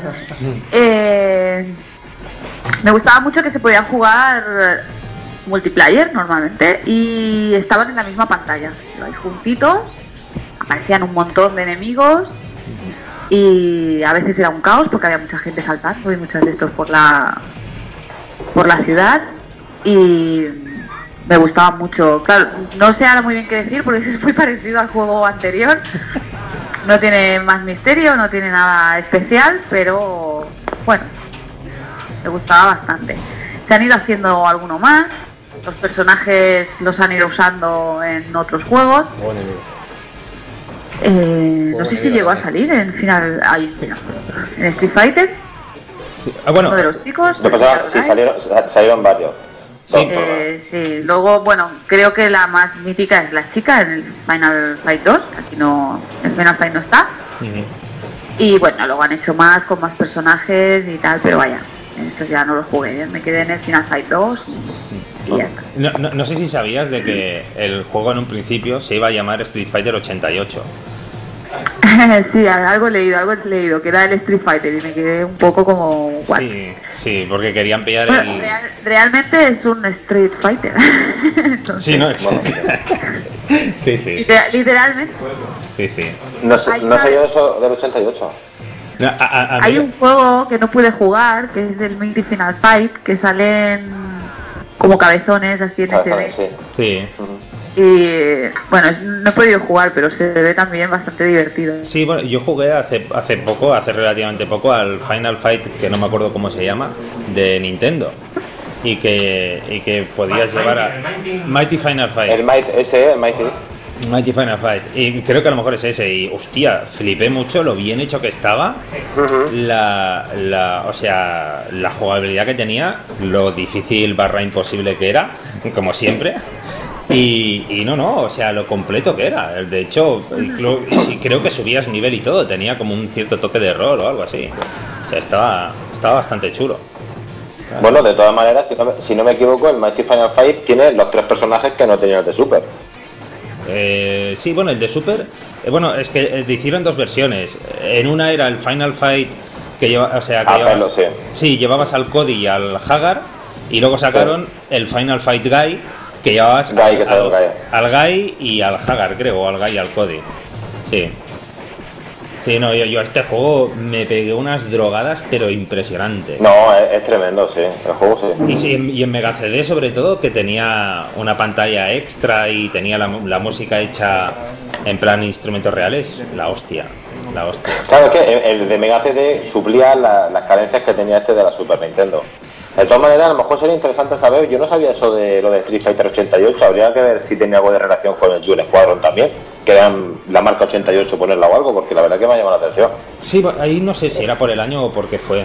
Sé, sé que, que lo que querían era seguir con el tirón de Street Fighter. Lo que pasa es que, Mm. claro, como vieron de que era un beat'em up y era otro, era otro rollo, decidieron darle un nombre y hacerlo de que fuera otra otra saga. Claro, yo a, a comentar lo del área 88 y el Jewel Squadron, digo, a lo mejor tenía algo que ver con, no sé, va a hacer una marca suya o... A lo mejor no lo sé, no sé si era No voy a saber. De todas maneras, este juego sí que habían bastantes veterans por la época, pero este juego si algo tiene es carisma. Ya ves. Mm. Ya ves. Sí, sí, sí. Bueno, uh, pues si, si, os parece vamos a enlazarlo con Street Fighter 2. ¡Yo! Pero yo quiero viciarme. Pero no puedes Ahora le toca a otro majo. No puedes hacerlo simultáneamente. Llevas todo el rato. No, luego, luego víciate con el mío, que es sencillico. Vale, bueno, a ver, de Street Fighter 2, a ver qué voy a decir. Todo el mundo sabe que este juego ha sido uno, bueno, yo creo que ha cambiado la percepción de los uh, videojuegos de eh, lucha, ¿no? Eh, yo más que todo quiero contar, um, bueno, el primer Street Fighter que salió ha sido el, el 87 uh -huh. y era horroroso, era detestable, incluso, sí, sí, porque habían dos juegos antes que, que marcaban, ¿no? Había el Karate Champ del 84 uh -huh. y el IE Kung Fu del 85 y estaba también el International Karate del, del 85. Sí, el IE Kung Fu era el que primero que incorporó los Sí. ataques especiales. Los ataques especiales, sí. Pero ya salió el, primer Street Fighter, el, el 87, que ha sido desastroso, ¿no? Las voces incluso súper mal hechas, la banda sonora horrible. Además, el delay de la de, de los controles, o sea, no respondía, era, era, era horrible, ¿no? Y bueno, el que, el que realmente marcó uh, fue cuando salió el Street Fighter 2, ¿no? Donde ya permitía jugar con, con 8 no, 2, 4, 6 jugadores, ¿no? No, 8 jugadores. 8 Era ocho jugadores al principio. 8 diferentes. ¿no? Ocho para elegir. Sí, y wow, este juego ya la banda sonora impresionante, ya toda la cultura que, que empezó a moverse a través de, del Street Fighter 2, ¿no? Porque estaba tan bien hecho, ¿no? Las, las voces y todo. Buah, y yo quiero comentar como anécdota, porque yo vengo de un pueblito que lo, lo mencioné en el primer free- el Freaky Room, ¿no? Que bueno, en el pueblito lo único que había era una, bueno, la calle principal y había una sala de juegos, ¿no? De puro arcade. Y entonces eh, era terminar el cole, porque eh, esto salió en el 91, pues el 91 y el 92 yo tenía cuántos años, 14 años, 15 años. Y wow, estamos mayores. Y, y claro, era después del cole irte a las máquinas estas a jugar con, tus, con, con los centavos que lograbas sacar de donde sea los fines de semana y a jugar. Y Street Fighter yo creo que ha marcado un poco también pues, mi vida, ¿no? Y tal. Y al personaje que lo odiaba un montón era Honda. Honda. Honda era, buah. Y, y- y el que odiaba era, era el español. ¿Cómo? El Vega. Ah, sí. Es catalán, ¿eh? Sí. Ve- Ve- Vega o Balrog. Bueno, sí. catalán. Aquí, Sí, sí, sí, sí. ¿Te te dices en serio? Yo quiero comentar algunas, em, ¿cómo se llama? Eh, anécdotas, ¿no? Por ejemplo, en eh, cosas, ¿no? Que están, por ejemplo, en Japón se llama Bal- Balrog. Sí, el baile de nombres. Eh, y el baile de nombres, todo esto que lo hicieron por cuestiones comerciales en Estados Unidos, porque no podían llamarse, luego lo llamaron Mike Bison, ¿no? Sí, bueno, el, sí, era era- original Balrog. Sí, sí, no, el, el boxeador en original era Mike Bison, pero como y lo hicieron pensando Estaba Mike Tyson. Tyson. Entonces, pues claro, para, fue Eso es. simplemente para prevenir temas de copyright de que no le viniera el boxeador, eh, entonces le cambiaron. De Lo cual hace incomprensible el cambio de Vega, pero bueno. Sí, no, es, es que además, claro, al, al, al- dictador, ¿no? Le llamaron M. Bison, parecía Claro, que fuera Mr. el Bison. Entonces ahí había, había una confusión, ¿no? Luego el, el Vega, obviamente, que le cambiaron Exacto. también. Lo de Vega no, no siento. Y luego estaba también el Charlie, eh, que era Nash, ¿no? Que, que ese era el, amigo de, De Gail. de Guile, que lo mataron y después, Sí. bueno, igual también hay toda la historia detrás de todo el videojuego, ¿no? Que es, que es fabulosa, ¿no? Ujú. Y que han hecho, bueno, han hecho algunas películas que son desastrosas, las películas en imagen real, que, que da una rabia increíble. Pero bueno, las series o las cosas que han hecho en 2D sobre esto son son son súper bonitas igual. Y bueno, está también Akuma, ¿no? Que lo llamaron Akuma, que en, en la versión Original era Goiki, ¿no? que significa demo- demonio, ¿no? Sí, bueno, ambos significan demonio. Uno es gran demonio y el otro es demonio. Sí, sí. Y bueno, después de esta salieron varias otras, ¿no? Bueno, el Street Fighter eh, 4, el 5 y luego, bueno, el Street Fighter 3 y tal. Pero a mí nunca me terminaron de llenar. m- como me llenaba el Street Fighter 2, ¿no? Y, lo- y, y claro, en el cole todos eran repitiendo incluso Japan, ¿no? Spain. Sí, sí, era muy bueno eso. Cuando salía Zangief y bueno, el, el Os- Osaga también, ¿no? El- y bueno, yo creo que hemos vivido todos esto. Eh, ¿Qué otra curiosidad? Ah, una, otra curiosidad es que he encontrado es que em, eh, se dice que es el primer juego que incluye las combinaciones de golpes, los combos, ¿no? Pero se dice también que esto ha sido más como un bug que no ha sido tanto tan tan hecho adrede. No sé si es verdad esto, ¿no? Que yo y que no. está en el libro de los eh, récords, el Street Fighter 2. Ah, bueno, yo, yo, yo recuerdo que lo tenían todo súper pensado, o sea, a, a nivel de que sí que pudieras hacer combos porque miraban el frame, o sea, to- todas las animaciones hacían cálculos, ¿no? De, por ejemplo, yo que sé, con, con el Ryu, eh, la patada fuerte, eh, pues el roundhouse, ¿no? La patada esta giratoria que hacía, habían calculado, pues, cuántos frames tiene que estar, o sea, cuántos frames han de pasar hasta que el golpe sea efectivo, en qué cuadro, cuánto tiempo se tiene que quedar y hasta que... Eso es alucinante, como el game design estaba perfectamente cuadrado. Hacer esto hoy en día es. O sea, brutal, lo, que brutal. hicieron en el, en el a- a- antaño ahora sigue costando Horrores. locuras. sí. Sí. Adecuar un juego así de Sí, combate al frame. Sí, sí, porque, porque de, de hecho estos, este juego, o sea, los de lucha son los que más revisiones se llevan. Sí. Porque claro, es que es ajustarlo todo, pero al, al milímetro y solo el hecho de, por ejemplo, yo te digo, de que cuando eh, impacta se quede medio segundo más o medio segundo menos, puede, hacer- puede ya. ser una ventaja brutal y que ese personaje esté overpowered, que le llaman, o B, o que sea un, un personaje basura. Ah, realmente hay Claro. gente que, que juega en competición en este tipo de juegos, que entrenan horas y horas y te- se saben los movimientos Exactamente. al Ah. milímetro. Es Sí, sí. alucinante. Y, y en los campeonatos se pone qué versión es. Sí. O sea, te dicen es la versión tal, no sé qué, tal cual. y Entonces ellos ya entrenan con esa revisión del juego. Pasada. O sea, yo, yo lo sé eso porque yo jugando, nunca llegué a jugar a nivel profesional, pero jugando a Street Fighter o juegos de lucha me he encontrado con cosas así. De Ah. estar acostumbrado a ciertos timings y tal, y que de golpe digas, pero ¿por qué ya no llego? ¿O por qué ahora me.? Claro, claro, ten en cuenta que no, que, que- que no es raro escuchar ahora cuando sacan algún juego o después de un tiempo de un juego que alguien busca un glitch o un bug o algún tipo de rollo de esto y la empresa retira el juego o el, el personaje o lo tiene que arreglar o cualquier cosa, sobre todo a la hora de las competiciones porque da una ventaja o... Sí, sí. Es que la gente le saca el, el frame justo, ¿sabes? El- la foto justa para saber, pues mira, aquí puedo hacer, empezar a hacer... Y yo creo que este juego fue el precursor porque eh, los veías que estaban todos los personajes equilibrados en ese sentido. Tú nada más que tenías que preocuparte de elegirte el que más te gustara y desarrollarte, empezar a jugar con él. Venga, yo os voy a pedir ayuda a todos, porque la verdad eh, creo que, que soy de los que menos ha jugado arcade. Me voy a viciar. Pero, pero vaya, he elegido este juego Metal Slug porque eh, lo estoy jugando para, para como referencia para un juego que estuvimos desarrollando y la verdad es que me sorprendió un montón por ser un juego eh, hecho en el 96 eh, por Nazca Corporation, como has comentado, y por lo increíble que es y lo frenético que es. Y las animaciones me parecieron alucinantes. O sea, yo como animador veo eso hecho en el 96 a puro, es- puro sprite. Yo sigo flipando a día Y alucino, o sea, la complejidad de los escenarios, Sí, sí. el colorido, Sí, sí, todo. sí. O sea, el, el, el conjunto es alucinante. Sí, sí, lo sí, ves sí. ahora Es y una- dices, Sí, ¡qué sí. Es un- pasada! Es una pena, perdón que te corte, porque los tengo aquí originales y no tengo la cámara porque os lo podría enseñar originales.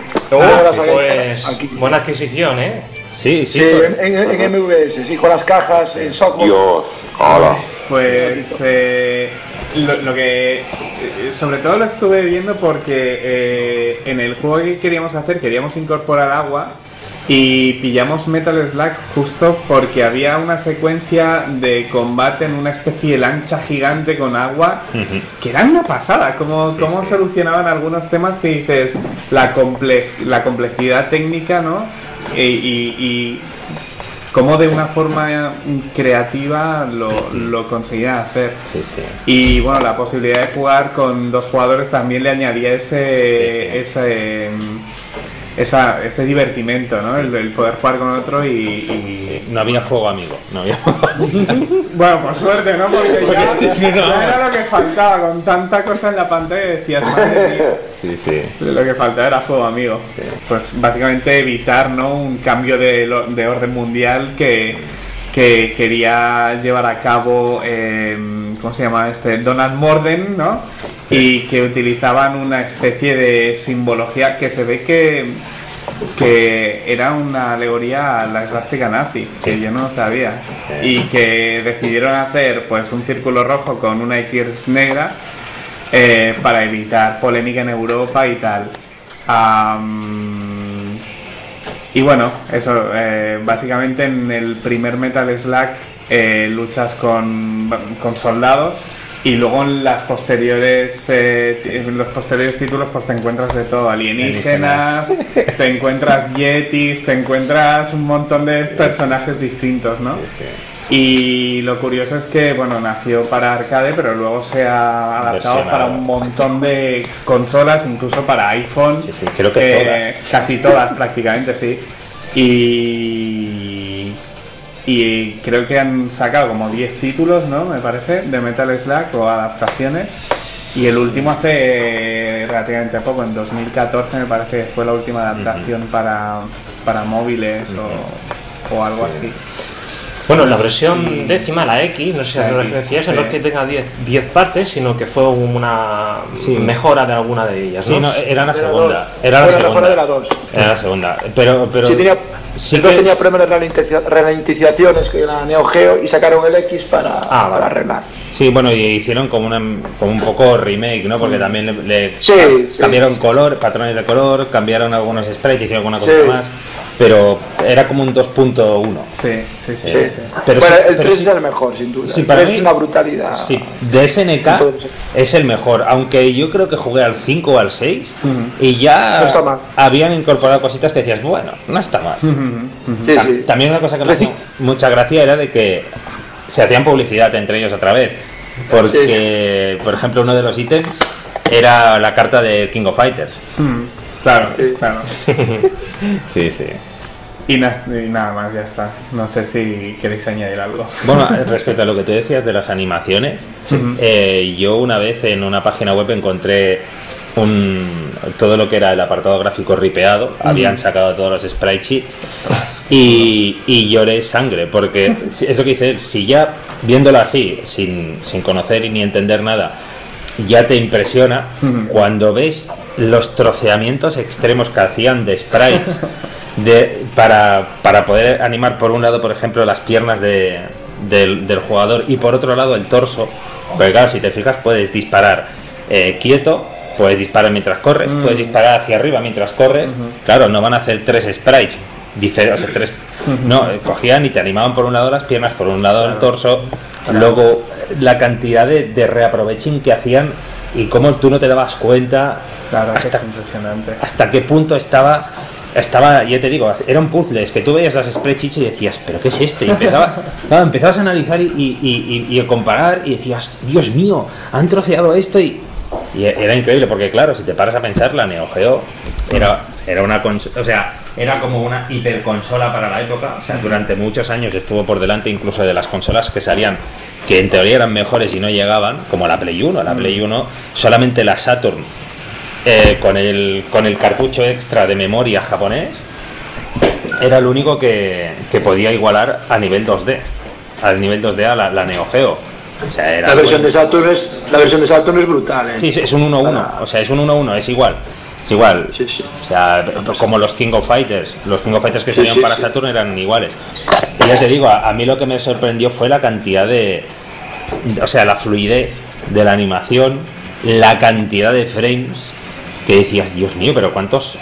cuánto- ¿Cuántos dibujos han hecho solamente para, para esto, ¿no? O, o incluso la interactividad. Yo qué sé, veías que a lo mejor había un tío con una que tenía una piedra enorme, un pedrero enorme colgado de una de una de una cuerda, pues, podías disparar y si caía encima de los enemigos no morían igual, sino que reventaban. Era una pasada, una pasada. Una pasada.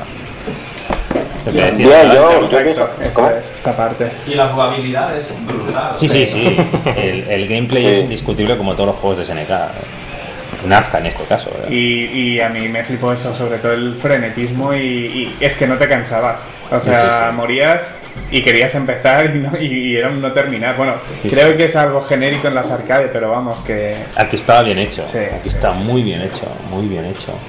Sí, sí, además fíjate que si dejas, ahí ves, aparece el soldado. sí, y tiene, tiene muchos detalles que son... Es, es como si estuviera viendo una, una película de dibujos animados. Sí, sí, pero además incluso la- el, el hecho de que si le, dis- si le disparas antes de que salga, cae encima de... O sea, tiene esa, esa variante de animación. Ah. Los sprites enormes. enormes. Impresionante. Para la gente así humilde como mi familia, nosotros, el tema Neo Geo era un poco, un poco aparte, era lo que había en la recreativa y tal. Y siempre te, te planteas grandes dudas, no sé. Eh, ¿Cuántos años tiene Jordi Hurtado? ¿Cuántas versiones de Metal Slug existen? Sí. Son cosas que nunca crees que puedas conocer. Yo no tampoco lo sabía ni lo tenía muy presente, pero ya me queda claro que 8 o 9 existen fijo. Pero debo decir que sí, hay dos cosas que me llaman muchísimo la atención y me encanta. O sea, la animación es deliciosa. O sea, una cosa que es superior. Sí. Y el estilo gráfico me encanta. O sea, no necesariamente tiene por qué ser realista. O sea, está súper bien hecho, animado y el tono, ese rollo cartoon, incluso aumenta la- el, el disfrute. Sí, y es muy crudo, o sea, porque... porque Sí, sí, sí, no, no, o sea, sí, no, no se corta. Tiene Sí, sí. cosas. sí, sí, sí, sí. Jaime, ¿querías comentar algo? No, no, no. No, no. Que, que lo tienes, ¿no? Que lo tienes. Original. qué, envidia. Sí. Y, y una cosa que descubrí, Sí, sí. y una cosa que descubrí hace eh, último apunte de- sobre sobre Metal Slug es que si juegas solo por, por Venga, me voy, a, me voy a poner la cámara, venga. Ay, ay, ay. Venga, Pues- enséñanoslo. pues, pues, exacto, enséñanoslo, enséñanoslo. Re- resulta de que si, si te Genera lo- envidia. Exacto. Oh. Si te lo pasas eh, solo, eh, aunque te lo pases con un solo crédito y tal, el final es, es un poco triste, pero si te lo pasas a dobles y no, y no pierdes ningún crédito, el final es como más esperanzador. Porque el, el final cuando te lo pasas solo es como ves todos los muertos de la guerra y todo y es como un poco que dices, joder, es- esto en teoría es una guerra, por mucho que sea un videojuego.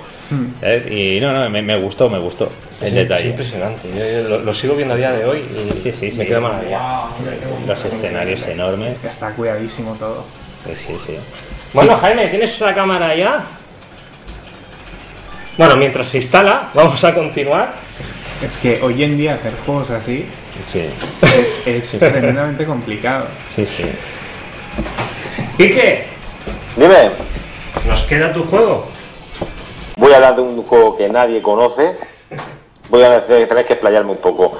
Porque si nombro así de primeras el, el título Ghost in Goblin, ¿no suena alguno? Los Goblin, joder, y tanto. Por supuesto. Por supuesto. O como se llamó en Japón, Makaimura, el pueblo demoníaco, tiene poco que explicar. O sea, es una arcade de, de Capcom del 85, en el que, como sabemos, pues manejamos a un caballero, que es Sir Arthur, con su brillante armadura, en la cual eh, tiene que rescatar, bueno, os pongo en situación, tiene una novia que es la princesa Prin Prin, dejando aparte el tema del nombre, y se van a tomarse un sándwich o un té o lo que sea, de paseo juntos, una noche al cementerio, todo muy normal.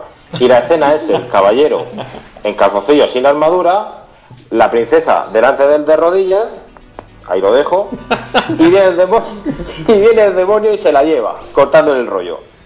Entonces, pues, básicamente el caballero Sir Arthur tiene que, que cruzar una serie de, de escenarios, todo ambientado en fantasmas, tiene que luchar contra criaturas fantasmales, gárgolas, demonios, duendes, plantas carnívoras, para rescatar a la princesa. Y para ello utiliza una serie... ¡Ey! ¿Qué ha pasado? Jaime, es Jaime ese. ¿Alguien se ha caído? No, que hay que enchufar la cámara para enseñarnos el Slug. Exacto. Ahí, a, a generar la envidia. Entonces, claro, tiene que utilizar una serie de armas para a la hora de conseguir eso y de y, y la armadura, que se convierte en un icono de, de la, de la saga. Entonces, a ver, te explico. Man- tienes tres vidas, te añaden una vida más a los 20.000 puntos, otra vida más a los 70.000 puntos y es básicamente un plataforma. Te quitan la vida con dos toques. Eh, en uno de ellos te deja en la típica imagen del que tú recuerdas con el juego, que es el tío, el calzoncillo, pasando por el cementerio. Y en la siguiente, la otra escena típica, que, te convierte en un montón de huesos y esqueletos y te caes al suelo. Eh, básicamente para cada fase tenemos una media de tiempo como unos 3 minutos para poder acabarlo. Y si te mueres, pues vuelve al principio del nivel o te deja a la mitad del nivel si te lo has conseguido pasar. Las armas. Las armas son muy simpáticas. Comienzas con la lanza, que es un tiro recto y el arma básica con la que comienza el juego. Puedes conseguirte el cuchillo, que es la, la misma pero mucho más rápida. Tienes el hacha, que es un arma que la lanza y hace como una curva en el aire, como una parábola, que tiene la peculiaridad de que atraviesa a los enemigos. Le das a uno, pero si hay otro detrás, le sigue dando. Es complicado de manejar, vale. Puedes conseguir el fuego, que es lo mismo, hace lo mismo que el hacha, solamente que se queda en el suelo y quema un poco. Tampoco es que facilita mucho la cosa. Y una última arma que puede ser, según la versión, es un escudo o una cruz, que es como la lanza del principio, pero tiene un alcance mucho más corto, pero tiene la peculiaridad de que para los golpes enemigos. Si hay enemigos que te lanzan algún tipo de objeto algún tipo de cosa, te lo para. Y una un detalle también simpático que, que te afecta al desarrollo del juego, que lo comentaré después. Básicamente, yo que este juego me gusta mucho porque, porque lo cuento como si fuera un, eh, que lo es así, como un camino, como una historia. El caballero Sir Arthur comienza en un cementerio y en un bosque, tienes que atravesar los que te salen zombies y plantas carnívoras. A mitad de camino tienes que cruzar un río para pasar al bosque. Y antes del río viene un enemigo que es Firebrand, que se hace famoso en la saga y en otros espinos de la saga. Pasas a ese enemigo que, que es para mí súper carismático, tiene su propia saga de juego aparte, y llegas a la segunda parte de la primera fase, de la primera fase que es un bosque te lo pasas con un monstruo gigante, la siguiente fase te metes a otro ambiente diferente que es un castillo de hielo con unos enemigos diferentes pequeñitos que te salen como duendecillos, pasas eso y entras a un pueblo abandonado que te vienen unos orcos gigantes, que de jefe final te viene dos veces el primer jefe de la primera, vamos aumentando. Todo esto, todo esto con un control súper suave, o sea, saltas y eres un hierro que vas para adelante. Y hay veces que saltas y vas donde vas, nada más dar al botón, sabes que has muerto ya. Porque sabes perfectamente dó- dónde vas a caer, el giro del personaje es ligeramente tosco, pero ya tienes que ir con la con el chip en la cabeza de saber do- medio segundo antes que tienes que hacer. Eh, cualquiera que haya probado el juego sabe de lo que te estoy hablando. Entonces, pasa a la tercera fase, que es una gruta en la que tienes enemigos nuevos, como murciélagos y tal. Todo, cada fase tiene un ambiente muy diferente y la verdad que, que es lo que te digo yo, que os comento que, que fomenta ese- esa sensación de- del viaje que vas comenzando. Entonces, eh, entras a una gruta, que el jefe final es el primer dragón del juego, te lo pasas y ya entra a otra fase que es unas plataformas que elevan, que para mí es de lo peor, porque tienes que saber muy bien contando en qué momento va a subir una, con qué timing, por dónde va a aparecer, porque si no, cada salto es volver a empezar y volver a empezar, y cruzar a un punto de fuego que la verdad tampoco te facilita las cosas y te enfrentas a otro segundo dragón. El hecho de comentar los jefes finales es, como en aquella época los juegos, y sobre todo este juego, por ejemplo, no era muy largo, lo tienen que, que- que- que- que complementar con, con dificultad. Y en este juego la verdad que se explayaron para que te durase. Ya ves, ya ves. Pero bien, pero bien. Te pasabas eso y llegabas por fin al castillo del demonio de Astaroth, que era el que se- supuestamente te había levantado a la novia, el colega. En esta fase, que es el castillo por dos partes, en la parte de abajo, eh, la, la parte inferior del castillo, vas subiendo escaleras y te vas a- acabando con básicamente todos los enemigos simples del juego hasta ese momento que te has encontrado, eh, con un detalle muy gracioso, el suelo son esqueletos y calaveras y cuando menos te lo esperas te aparece un esqueleto de ese, de ese montón y te vas saltando. A- Que hacen exactamente o casi exactamente un detalle como, como el personaje ese que he comentado, el Firebrand ese que, que aparece de vez en cuando, la gárgola roja, a lo largo del juego, que tiene el, no sé ahora mismo la palabra como decírtelo, el, la rutina de movimientos más asquerosamente aleatoria que he visto en mi vida. Sí, sí. La mejor inteligencia artificial. Sí, sí. Es, es asqueroso. Lo odio, yo lo odio. Bueno, odio el 100% del juego, odio todo. Odio a los programadores. Pero, pero que ese odio, es encantador, es súper amoroso. Sí, sí, sí, pero porque a, a- a mí, y, y esto es una cosa que a mí me da mucha rabia hoy en día. O sea, la frustración que me viene del juego es porque es difícil, no porque es injusto. Porque hay No, juegos que son injustos. Que dices, a ver, esto ni en mil años lo hubiese hecho bien. Necesitas morir para aprender. Aquí no, aquí si tienes reflejos y te vas aprendiendo el juego, vale, pero, pero, pero puedes enfrentarte a cualquier cosa la primera vez y no te matarán Sí. injustamente. Incluso No, no. cuando. a- No, sé si lo. Bueno, seguro que lo sabes. Eh, cuando, cuando le disparas muchas veces a, a una A la- a- a la a la lápida tumba, sí. me cago en su vida yo ahí que estaba ahí disparando que un tío, me dijo mira dale ya verás qué divertido y sí sí Y te conviertes en rana. sí sí Es súper simpático. Pues está muy bien, la verdad, porque porque ah, parece que no, pero está todo medido al milímetro. O sea, no al milímetro de, de decir, venga, vamos, yo voy entrenando, voy sabiendo, me lo voy sabiendo de preaviso. No, da igual. Vas a morir, mueres, mueres, Sí, sí, sí. mueres, mueres. Luego sigues muriendo, muriendo, muriendo. Pero mueres de una forma que dices tú, es por habilidad, sí es por habilidad y por previsión.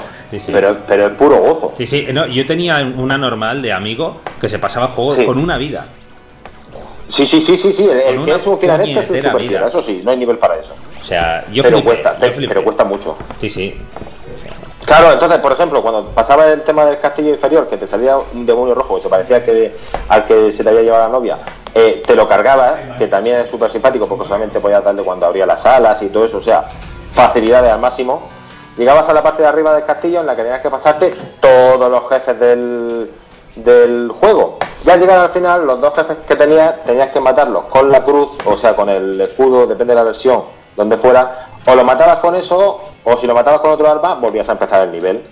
Total, que podías conseguir, te lo pasaba y entraba la cámara privada que es la que estaba en las tarot con la novia. Él, él entre medias, la novia ahí detrás esperándote, y ya veis, el demonio colocado por en medio. Tienes que golpear en las zonas exactas del cuerpo, pero con un detalle. Tú coges, matas demonios, disfrutas, ya ves a la novia, volvemos a lo que, teníamos, lo que habíamos dejado a medio, que no sé si te acuerdas, y, y cuando esperas que te salga el mensaje, te dice, no, perdona, te has acabado este punto, tienes que volver a empezar el juego con una dificultad, con una dificultad mucho más alta para poder ver el final. Entonces cuando tú coges, no sé, depende, cogías la máquina si estaba en el bar, la tirabas al suelo, intentabas meterle fuego con algo, la pateabas o te acordabas de todas sus santas sí sí sí Era un juego, y sigue siéndolo, es un juego difícil, es un juego que, que el tema el tema ese de volver a repetirlo lo han recurrido en, en las siguientes partes del, del juego. Tuvo la segunda parte que fue un, un título que se lanzó sobre todo en máquinas de Sega, y la tercera que es el, el Super Ghosts and Ghosts que se lanzó en la, en la Super Nintendo.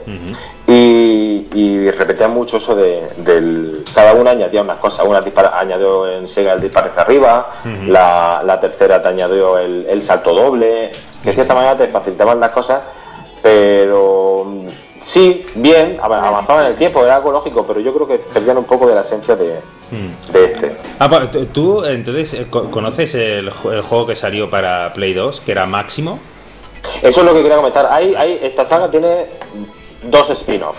Unos de ellos son los que el protagonista es la, la gárgola referente, Gargoyle Quest, ¿no? el Gargoyle Quest de Game Boy, el Gargoyle de, de NES y el Demon Crest de, de- de Super Nintendo, que yo sobre todo recomiendo el de Game Boy y el de Super Nintendo, el de NES también.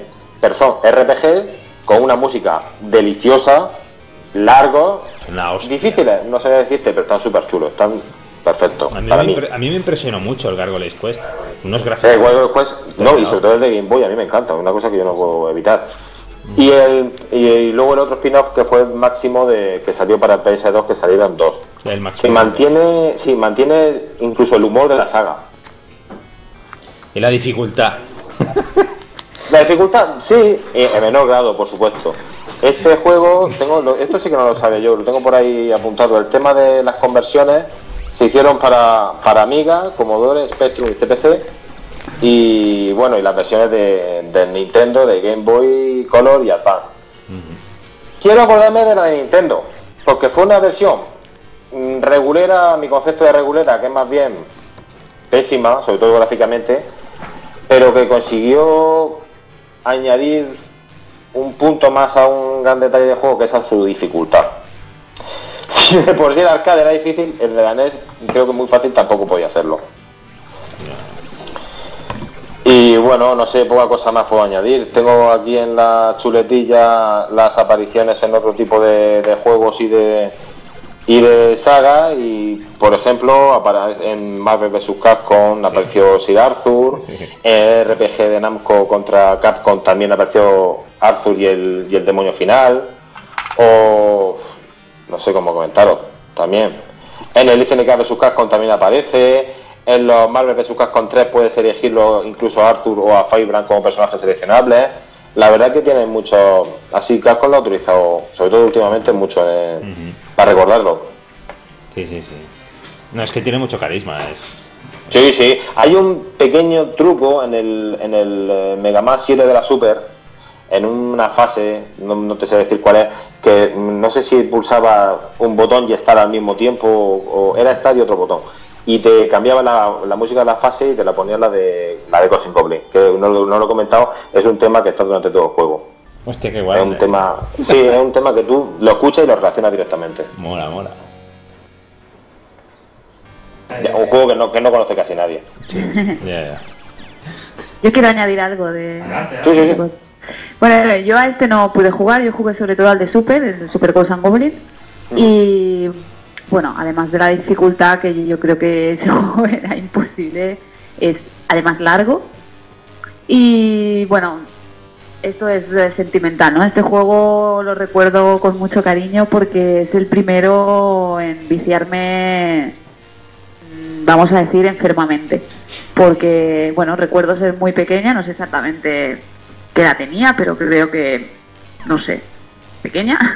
Y convencer a mi madre para que me dejara quedarme a dormir a casa de mi primo porque llevábamos todo el día jugando y habíamos conseguido llegar a la mitad del mapa. Era un mamá, déjanos seguir porque si paramos la consola mm, hay que volver a empezar. Porque no dejaba guardar. Sí, sí. Entonces me dijo mi madre, va, venga, quédate. Entonces, bueno, recuerdo haber pasado toda la noche jugando con mi primo, un poco mayor que yo. Y bueno, no conseguimos eh, pasárnoslo, obviamente. Es más, cuando llegaron padres, ¿no? Con los ojos rojos, ahí agachados, encorvados y sobre todo con las manos llenas de heridas.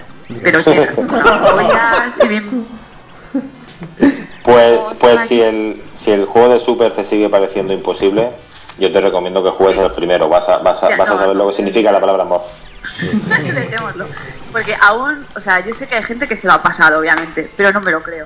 Cuando me dicen, sí, sí, me lo pasado, digo, sí, no me lo creo. Demuéstramelo. No, no, pero sí, sí, hay super, hay gente para todo. Pero de todas maneras este juego le pasa un poco como lo que estábamos hablando del, del Final Fight tuyo, o sea, mm, es carisma, o sea, la definición de carisma es la que tiene este juego.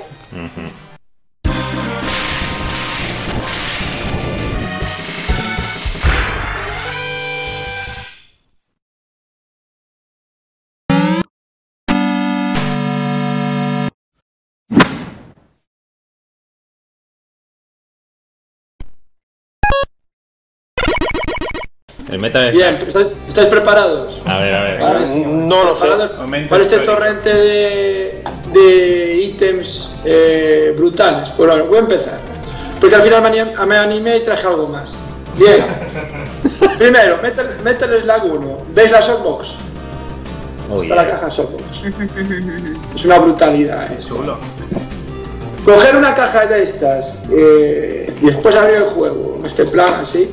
Fijaros, cartucho. O sea que como, este, de, como de Game Boy. estos cartuchos solo pensar que estuvieran en una recreativa. No sé si lo habéis visto, porque Sí, sí. introducidos, bueno, pues ya es, fijaros, estos son ranuras y lo demás son historias. Bien. Este es el Metal Slug 1. Metal Slug 2, también somos. Bueno, seguimos. Metal Slug 3, también Softbox. Que no me aclaro con la cámara, disculpad, ¿vale? Porque no me... A ver, ahí... Vale. Este no sé si es diferente por dentro. Si veis, este en cambio es transparente, ¿veis? Tiene la grasa transparente. Una maravilla ver el logo de Seneca. El Metal Slug, este no lo tengo, esto lo tengo en, en caja normal de cartón. Es el Metal Slug X. Tengo unos más por ahí, pero bueno. eh, también quise traer esto, fijaros, el Shock Troopers. Que también parece un juegazo. Buenísimo. Es- Es una, en Sockbox también. Bueno, esto, esto, es, esto es para. Mira, prefiero vender mi coche antes de poder venderme esto. no exagero, ¿eh? No, no, eh, te comprendo, te comprendo. No, no, no, si te, cre- te creemos. El Shock Troopers, ese era el 2, este es el, el 1, ¿vale? Shock Shock Troopers 1. Y bueno, tengo más juegos de Neo Geo ahí arriba, pero bueno, eh, es que esto pesa como un camión. Y después, ya, ya que estamos, os quiero mostrar, es que Chusa ya, ya, ya soportó mi, mi, mi, mi emoción ante este ítem. ¿Esto sabéis qué es? Qué chulo. Sí, sí. Es un Super, super CD-ROM 2 Este. para la PC Engine. Esto, es- esto sí que es. uh, esto sí que es un ítem, pues, de esos que, primero, y no exagero, para conseguir esto hay que tener una flor en el culo y que funcione, vamos, que esté en condiciones. Sí, sí. Una flor en el culo. Sí. ¿Sabéis que me levanté a las 5 de la mañana para pujar por ella en una tienda japonesa y la gané por, de verdad, una pasta, no voy a decir dinero, pero relati- relativamente económico. Y no me lo creo todavía, porque yo dudaba con mis colegas hablando del tema que llegara bien y cuando la veo funcionar con esto, bueno, pues... Madre mía. Y os voy a enseñar cómo va porque es una forma muy... ¿Sabes que esto es equivalente a la Duo, ¿vale? Esto y la, la PC Engine. Fijaros, esto va así. Tiene un slot de expansión por detrás Sí, se mete. se mete. Así. Ostras, a ver si había Joder. No jodamos, no jodamos. No me da un ataque. Eso, eso sonado como cargar un cargador de arma. ya. Un segundo. Ay, ay, ay. Así. Y queda así, de esta manera. Y nada, esto ya está. Ya es lo último que acabo de adquirir y estoy muy contento. Ya, De aquí ya me da igual lo que me pase a partir de ahora. Yo, yo qué sé, yo si estuviera como tú, no sé, le, le haría una cama, le pondría nombre. ya, ya, ya es forma de hacer, sí. Jaime, ¿dónde vives? Vivo, yo me escondo en, en la montaña gallega para que no sufra ningún tipo de Y secuestro. la, la siguiente pregunta es, ¿estás casado? No, no, no, gracias a Dios. Yo trabajo con niños a diario y no quiero saber nada de niños ni, ni, ni de, ni de compromisos. A estas alturas ya te da un poco igual de todo. O sea que mi compañía son las consolas que nunca te dan problemas, nunca te abandonan y siempre te dan amor. No, no, sí, no, yo, yo lo comentaba por el hecho de postularnos como pretendientes. Bueno, pues de, de momento tengo muy claro mis tendencias sexuales. No, yo con mi mujer también. Jaime, Bueno, pues es que nos vamos a entender muy bien tú y yo. Y una cosa a, Dani, a Daniel antes de Darwin 4087, que tiene razón. eh, yo eh, eh, lo hubo aquí en España, yo lo había visto de importación. Pero claro, como juego salió en Japón. Quiero decir, Ah, vale. no hubo una versión PAL ni. Vale, vale. es- yo ahí no me aclaré bien. Yo lo, lo había visto en mail a vender, porque también vendía juegos de importación en, en los 90, Sí, sí. y lo había visto de, de ese tipo, pero claro, no, no, como, como versión europea no. Claro, es que no, no De hecho, sonaba. Yo había comprado el Thunder Force, eh, ¿cuál era? El 3, americano, en Mailsoft. Ujú. Y, Vaya. y- y, pues sí, sí. Y, a- porque era de región libre y aún funcionaba. Prefiero que en Mail jugaba también con. O sea, traía cosas de fuera. ¿no? Sí, sí. Todavía, todavía recuerdo yo la banda sonora del 4 y hay pocas cosas que la superen. Buah, es que la del 4. Es brutal. Hay, hay vídeos en internet de gente eh, haciendo, o sea, rememorándolo con, con guitarras e instrumentos reales y es orgásmico. chicos. Sí, sí, Eh, sí, sí. Eh, una, una cosa, Ape, y ya me callo, ¿vale? Dime, dime, muéstralo. Espera que no encuentro el ratón del, el ratón del ordenador, ¿dónde está? ¿Me das un segundo? Sí. Un segundo. Sí, sí. Hablando de Thunder Force 4, pero cuando digo segundo, son dos segundos. Cuidado los cascos. Vale, vale voy, voy. No, pero el Thunder Force 4 era un temazo en, la, en Mega Drive. O sea, yo no conocí otro, el 3 del 3 lo conocí. Pero el 4, el rollo de, de sensación de frenetismo y la música, a mí me. Sí, Y yo soy de Super Nintendo, cuidado. Sí, Sí, no, no, es brutal. Pues ese, el Thunder Force 4, que lo tengo también original para Saturn. Aquí lo tengo. No se ve nada con el yo- reflejo. eh, No se ve. para la existe para la Saturn. ahí, ¿no? ahí. Sí, sí, el, el, el 5, perdonad, el 5. El 5, porque digo, el 4 sale para Mega Drive. Muévelo para que lo veamos. Sí. Venga, Susa, adelante. Vale, pues hoy os voy a hablar del Dark Cloud. Eh, El Dark Cloud es un juego que Ay, Dios, el Dark Cloud. Qué guapo. ¿Se ha ido? ¿Hola? ¿Sosa? 2000 los Hostia. compré. No, no, no te oímos. Estoy aquí. Hola. Va, va, a ver ahora. Vale, pues eh, eso es uno de los primeros juegos de PlayStation 2 querían que, fue, que saliera con, un- con el lanzamiento de la consola, pero se retrasó un poquito. Entonces, bueno, cuando me regalaron la consola me dejaron elegir un juego y... eh, bueno, nada. Entonces no había internet para informarse acerca de los juegos. Vi este y me llamó la atención simplemente la portada. Que bueno, un chico con gorrito en plan Zelda dije, uh, pues para mí. Entonces, este juego, ya sabéis que en, en esta sección os cuento un poco los que me llamaron la atención gráficamente o por algo así en particular, no tanto por la jugabilidad o, o tal. Eh, una, segunda parte, que como le cambiaron un poco el nombre, nadie sabe que es. Este es el primero, que es el Dark Chronicles. Este fue un poquito más conocido por tener uno de los mejores shadings de, de los juegos en aquel entonces, bueno, y creo que ahora también.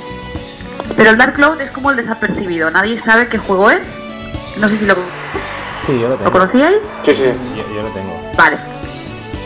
Este juego era muy sencillo. Sencillo. Tenía su qué, ¿no? Pero quiero decir que el seguimiento es muy sencillo.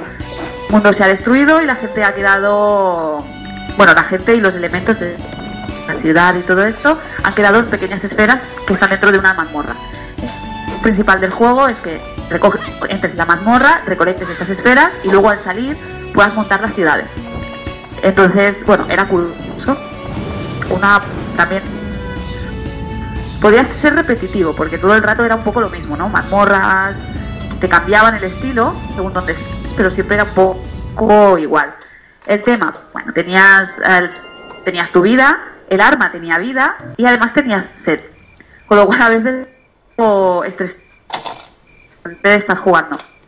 Esto lo multiplican en el Dark Chronicle, es mucho más complejo y bastante estresante también. Pero en este aún era bastante sencillo de juego.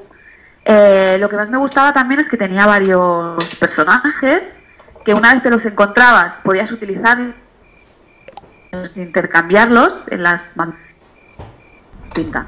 Pues el personaje principal, no recuerdo los nombres, no sé si era Tao o algo así, eh, iba con espadas, había otro personajillo que iba con un tirachinas, había otros que lanzaban rayos, entonces tenías que ir combinando la habilidad de cada uno, porque su barra de vida y todo esto también era distinto, para ir,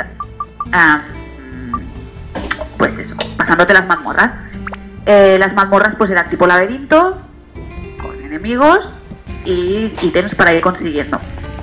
Entonces, bueno, gráficamente era, estéticamente era bonito, así estilo cartoon, bueno, cartoon más a- quizá, y tanto los personajes como luego las ciudades que podías ir creando. Eh, pues esto, no sé si lo estáis viendo, yo no os veo sí, ahora. Vale, se me ha parado la imagen. Está Pero- ahí en medio de la gruta y Creo que atractivo. Sí, creo que era muy divertido Ujú. Y no exageradamente complicado, porque el Chronicle era muy, hacía muy estresante. Este aún se dejaba llevar.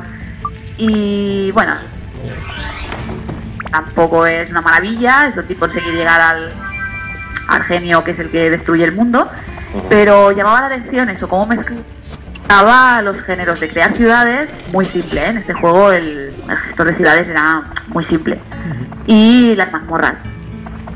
Lo catalogaron como RPG, no sé por qué, quizá ahí estuvo el fallo en que no llamara la atención, porque no es un RPG. Y, y nada, pues un juego desapercibido que yo creo que vale mucho la pena. Este- No sé qué opináis vosotros, si lo conocéis. Este juego yo no, no lo he tratado mucho, pero no tiene mucho que ver, porque sí que es un RPG, pero por la época me acuerdo mucho de, de este siempre junto con el Alundra. Uno lo tuve y este lo tanteé un poquillo, pero pero siempre lo relaciono, se ve que porque sería por la misma época o algo.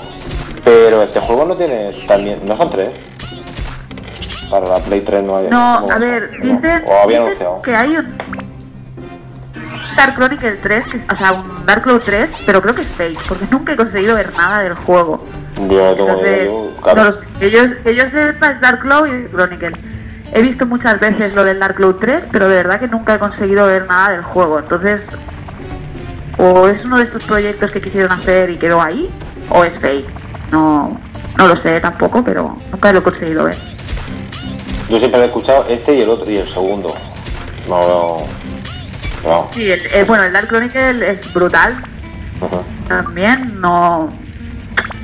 Sobre todo estéticamente. Este no lo he comentado porque creo que es más conocido, incluso ahora está disponible para PlayStation, te lo puedes descargar. El Dark Chronicle, pero tiene, ya os digo, de los mejores el shading que he visto nunca.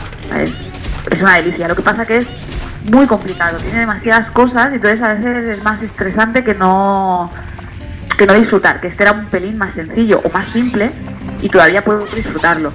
No tiene nada que ver con el Alundra. El No, Alundra no, no, no, no, no tiene nada, es un RPG, tal cual. Claro, es que quizá el Alundra es un poquito, bueno, yo siempre lo llamábamos el Zelda de Sony. Claro, era 2D, literal. Venga, va. Tenemos, a, tenemos otra sección que se llama Retro Bizarro. Eso. Retro- es- esa es mi sección. Pero bien, eh, lo que quiero aclarar es que aunque penséis, eh, bueno, su- no sé, si bizarro, bizarro no significa raro en el diccionario Real Academia, ¿no? Significa valiente.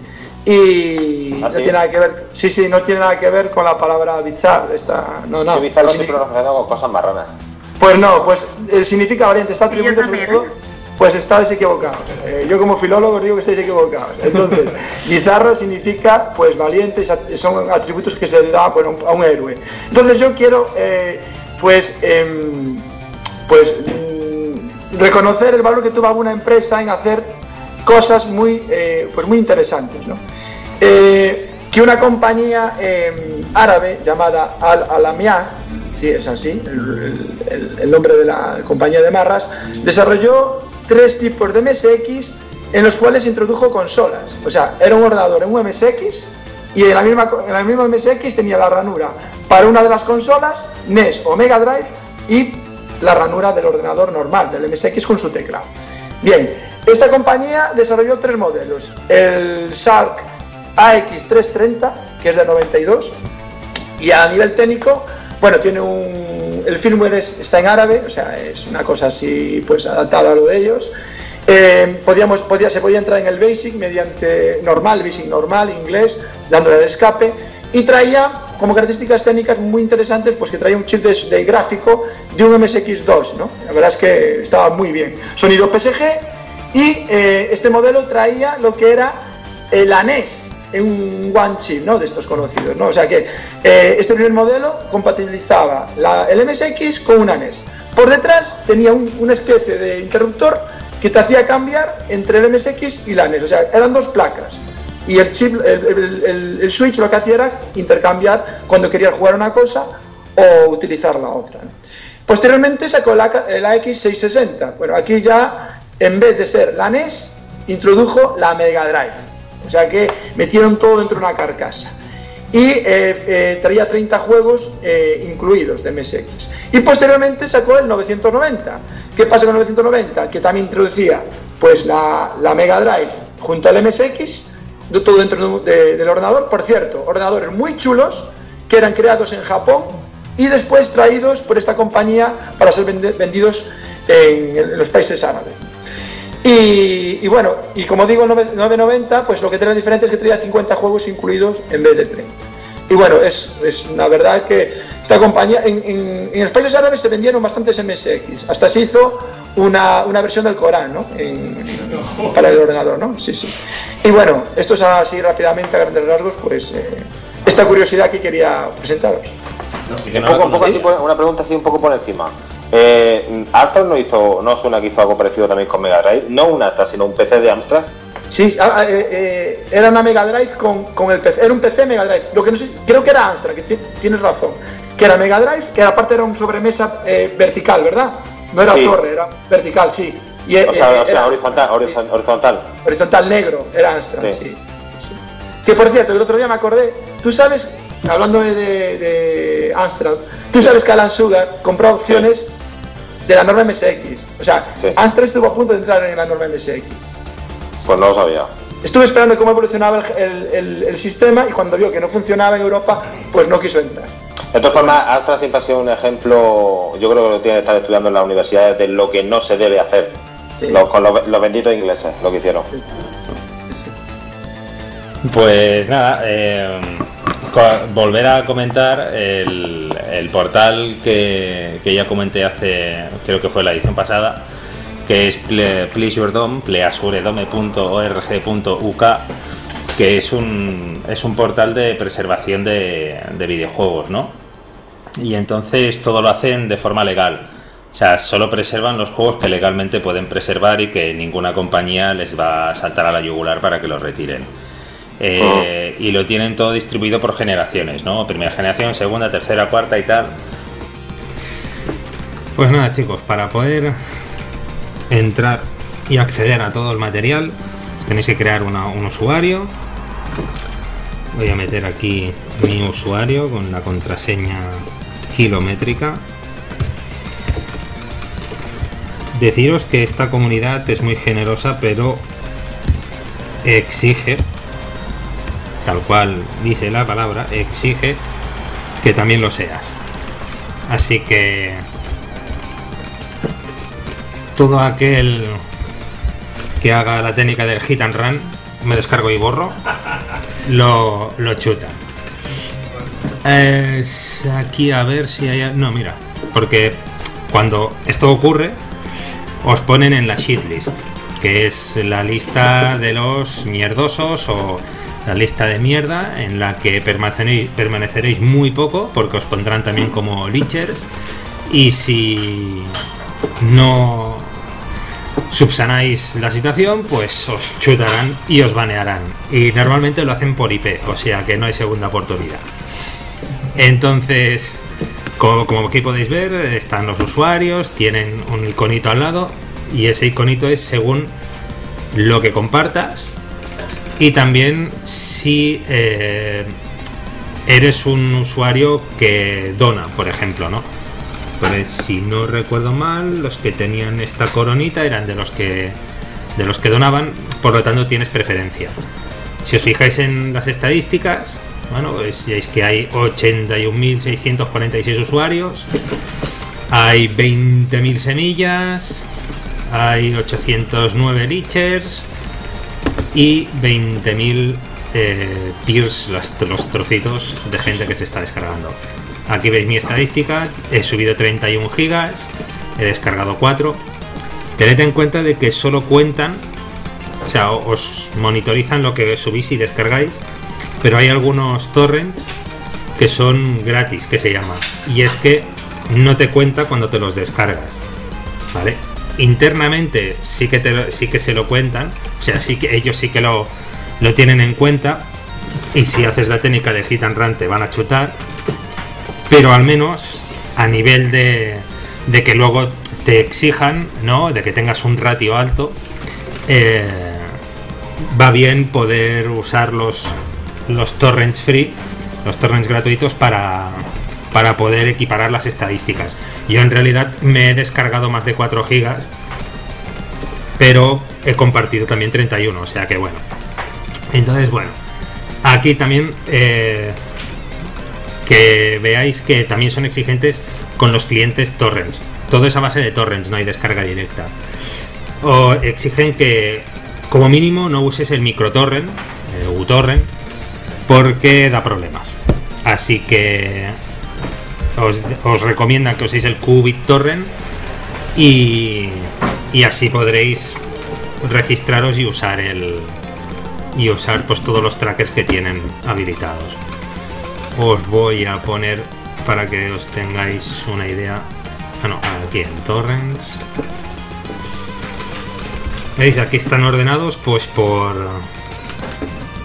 pues por creo que como les sale a las narices porque por está por fecha Eh, entonces aquí pues tenéis pues todos los MAME los emuladores todas las ROMs y otros emuladores de consolas PC tenéis de todo lo que tenéis simplemente eh, son siempre lo que son los los las ISOs o los juegos los emuladores creo que no están nunca lo que sí que tienen es material secundario como puede ser, por ejemplo, los manuales. Aquí tenéis, por ejemplo, manuales de MSX escaneados, más manuales de SG-1000, ¿no? Lo que era la anterior a Master System. Manuales de Sega Saturn. Entonces, para aquellos completistas que quieren tenerlo todo, pues veréis que aquí tenéis material por un tubo. Ya os aviso que hay hay torrents que son muy brutos, son muy grandes. Por ejemplo, aquí podéis ver pues todas las ROMs de MAME a día de hoy 56 gigas. Pero todos los CHDs de, a día de hoy 1,84 terabytes. Así que preparad disco duro porque lo vais a necesitar. Y a ver, pues bueno. ¿Veis? De vez en cuando. Ahora, como están. Porque, a ver, voy a poner. Voy a buscar aquí rápidamente. Para que veáis que podéis buscar y que no. Ah, dentro del foro de. De Pleasure Dome. Hay una. Hay una lista. Hay una lista de. De ISOs y juegos que, que por generación se pueden descargar. Solo tienen juegos legales, nunca tienen versiones piratas o juegos que aún no, aún no se puedan descargar. Así que tened, estad tranquilos que lo que os descargáis aquí, si tenéis el soporte hardware, no, no tendréis nadie que os venga a llamar a la puerta por piratas. Y nada, pues ya está. Aquí, aquí tenéis pues infinitos juegos más uno para descargar y a disfrutar. Así y a preservar todo lo que se pueda. Lo que hacen, que eso es una de las cosas que me gusta, es que van al día. O sea, van al día, por ejemplo, en las recreativas o en las versiones de consola. Si sale un Street of Rage 3 eh, traducido al árabe, pues te lo añaden al set de ROM de Mega Drive. Si te sale, un, por ejemplo, yo que sé, una nueva recreativa, eh, pues te la, te la incluyen, siempre y cuando te, se lo permitan por derechos y todo. Entonces, eh, mola porque, por ejemplo, del MAME tienes siempre la, la, última versión de todo el set de ROMs, incluidos los CHDs, que los CHDs es eh, o sea, a partir de no me recuerdo qué generación, eh, con, las recreativas, habían dispositivos de almacenamiento masivos, como DVDs, CDs o incluso discos duros. Entonces, claro, se necesitaba tanto la placa con las ROMs como el, almacenamiento. Entonces, en los CHDs tranquilamente se te podían ir todos los CHDs de las ROMs, eh, o sea, de los juegos que necesitaban eso, se te podían ir a los teras un tera, dos teras, y ellos lo tienen ahí subido. O sea, tienes ahí todo. Tienes todos los juegos de Atari, todos los juegos de 3DO, todos los juegos de Dreamcast. A medida que, ha ido pasando el tiempo y, han podido subirlo, lo han subido todo. Y claro, pues es un portal muy importante para quien realmente, aparte de coleccionista, quiere jugar, poder tener ahí todos los juegos y poder descargártelos y jugarlos. Y está muy bien, está muy bien. Es una comunidad muy activa y mola mucho, mola mucho. Yo recomiendo el portal. Mm. Bueno chicos, ya está bien por hoy. Creo que hemos cumplido. Solamente recordar de que, de que nos podéis seguir, nos podéis ver en Twitch cuando hacemos la grabación en directo. Eh, recordad también que nos podéis chatear. Y luego nos podéis ver en YouTube. Solamente tenéis que buscar la palabra Friki Room. También estamos en Twitter, en Facebook, en iBox y en iTunes de, de, podcast, la aplicación de podcast, para si queréis escucharnos solamente en audio. Bueno, pues nada, eh, solamente daros las gracias. Estoy muy contento de que eh, estemos casi al completo todo el team. Casi, casi. Seguimos saludando a Víctor y, gracias por venir, gracias por colaborar con, dando vuestro punto de apoyo. Ah, para conectarme desde el móvil. bueno, pues Susa, ¿Quique? ¿Sí? Ah, Susa. Sí, Susa. Susa. No os oigo, se corta. Susa, que gracias por, por venir. Es una indirecta, ¿eh? No lo oigo, Susa. Que gracias por venir. Bueno, luego se lo diré por teléfono. Quique, gracias por estar aquí una vez más. Ya te dejamos, te dejamos marchar. Quique, gracias. A vosotros por invitarme. Marcelo, a ver Pues, si Quique, ¿puedes próxima- decirme qué es lo que estaban diciendo? Que a ti sí te oigo. Que gracias por venir. Ah, a vosotros. Marcelo, a ver si repetimos más a menudo. Sí, señor. César, gracias por aquí. venir de nuevo. Daniel, encantado. Has hecho, sé que has hecho un sacrificio para venir a estar aquí a, a primera hora con nosotros. Gracias. Y Dan, también, a ver si te vemos más a menudo. Eso. Puedes venir acompañado, ¿eh? Sí, sí, sí. Y gracias a todos por seguirnos y aguantarnos. y ah, una última cosa, recordad que podéis enviarnos un vídeo de dos minutos como máximo, que nosotros lo pondremos en, eh, no sé si llama lo programa ya esto o qué, porque, eh, yo creo que ya es algo más que un podcast, ¿no? Y muchas gracias, encantado de estar con todos vosotros.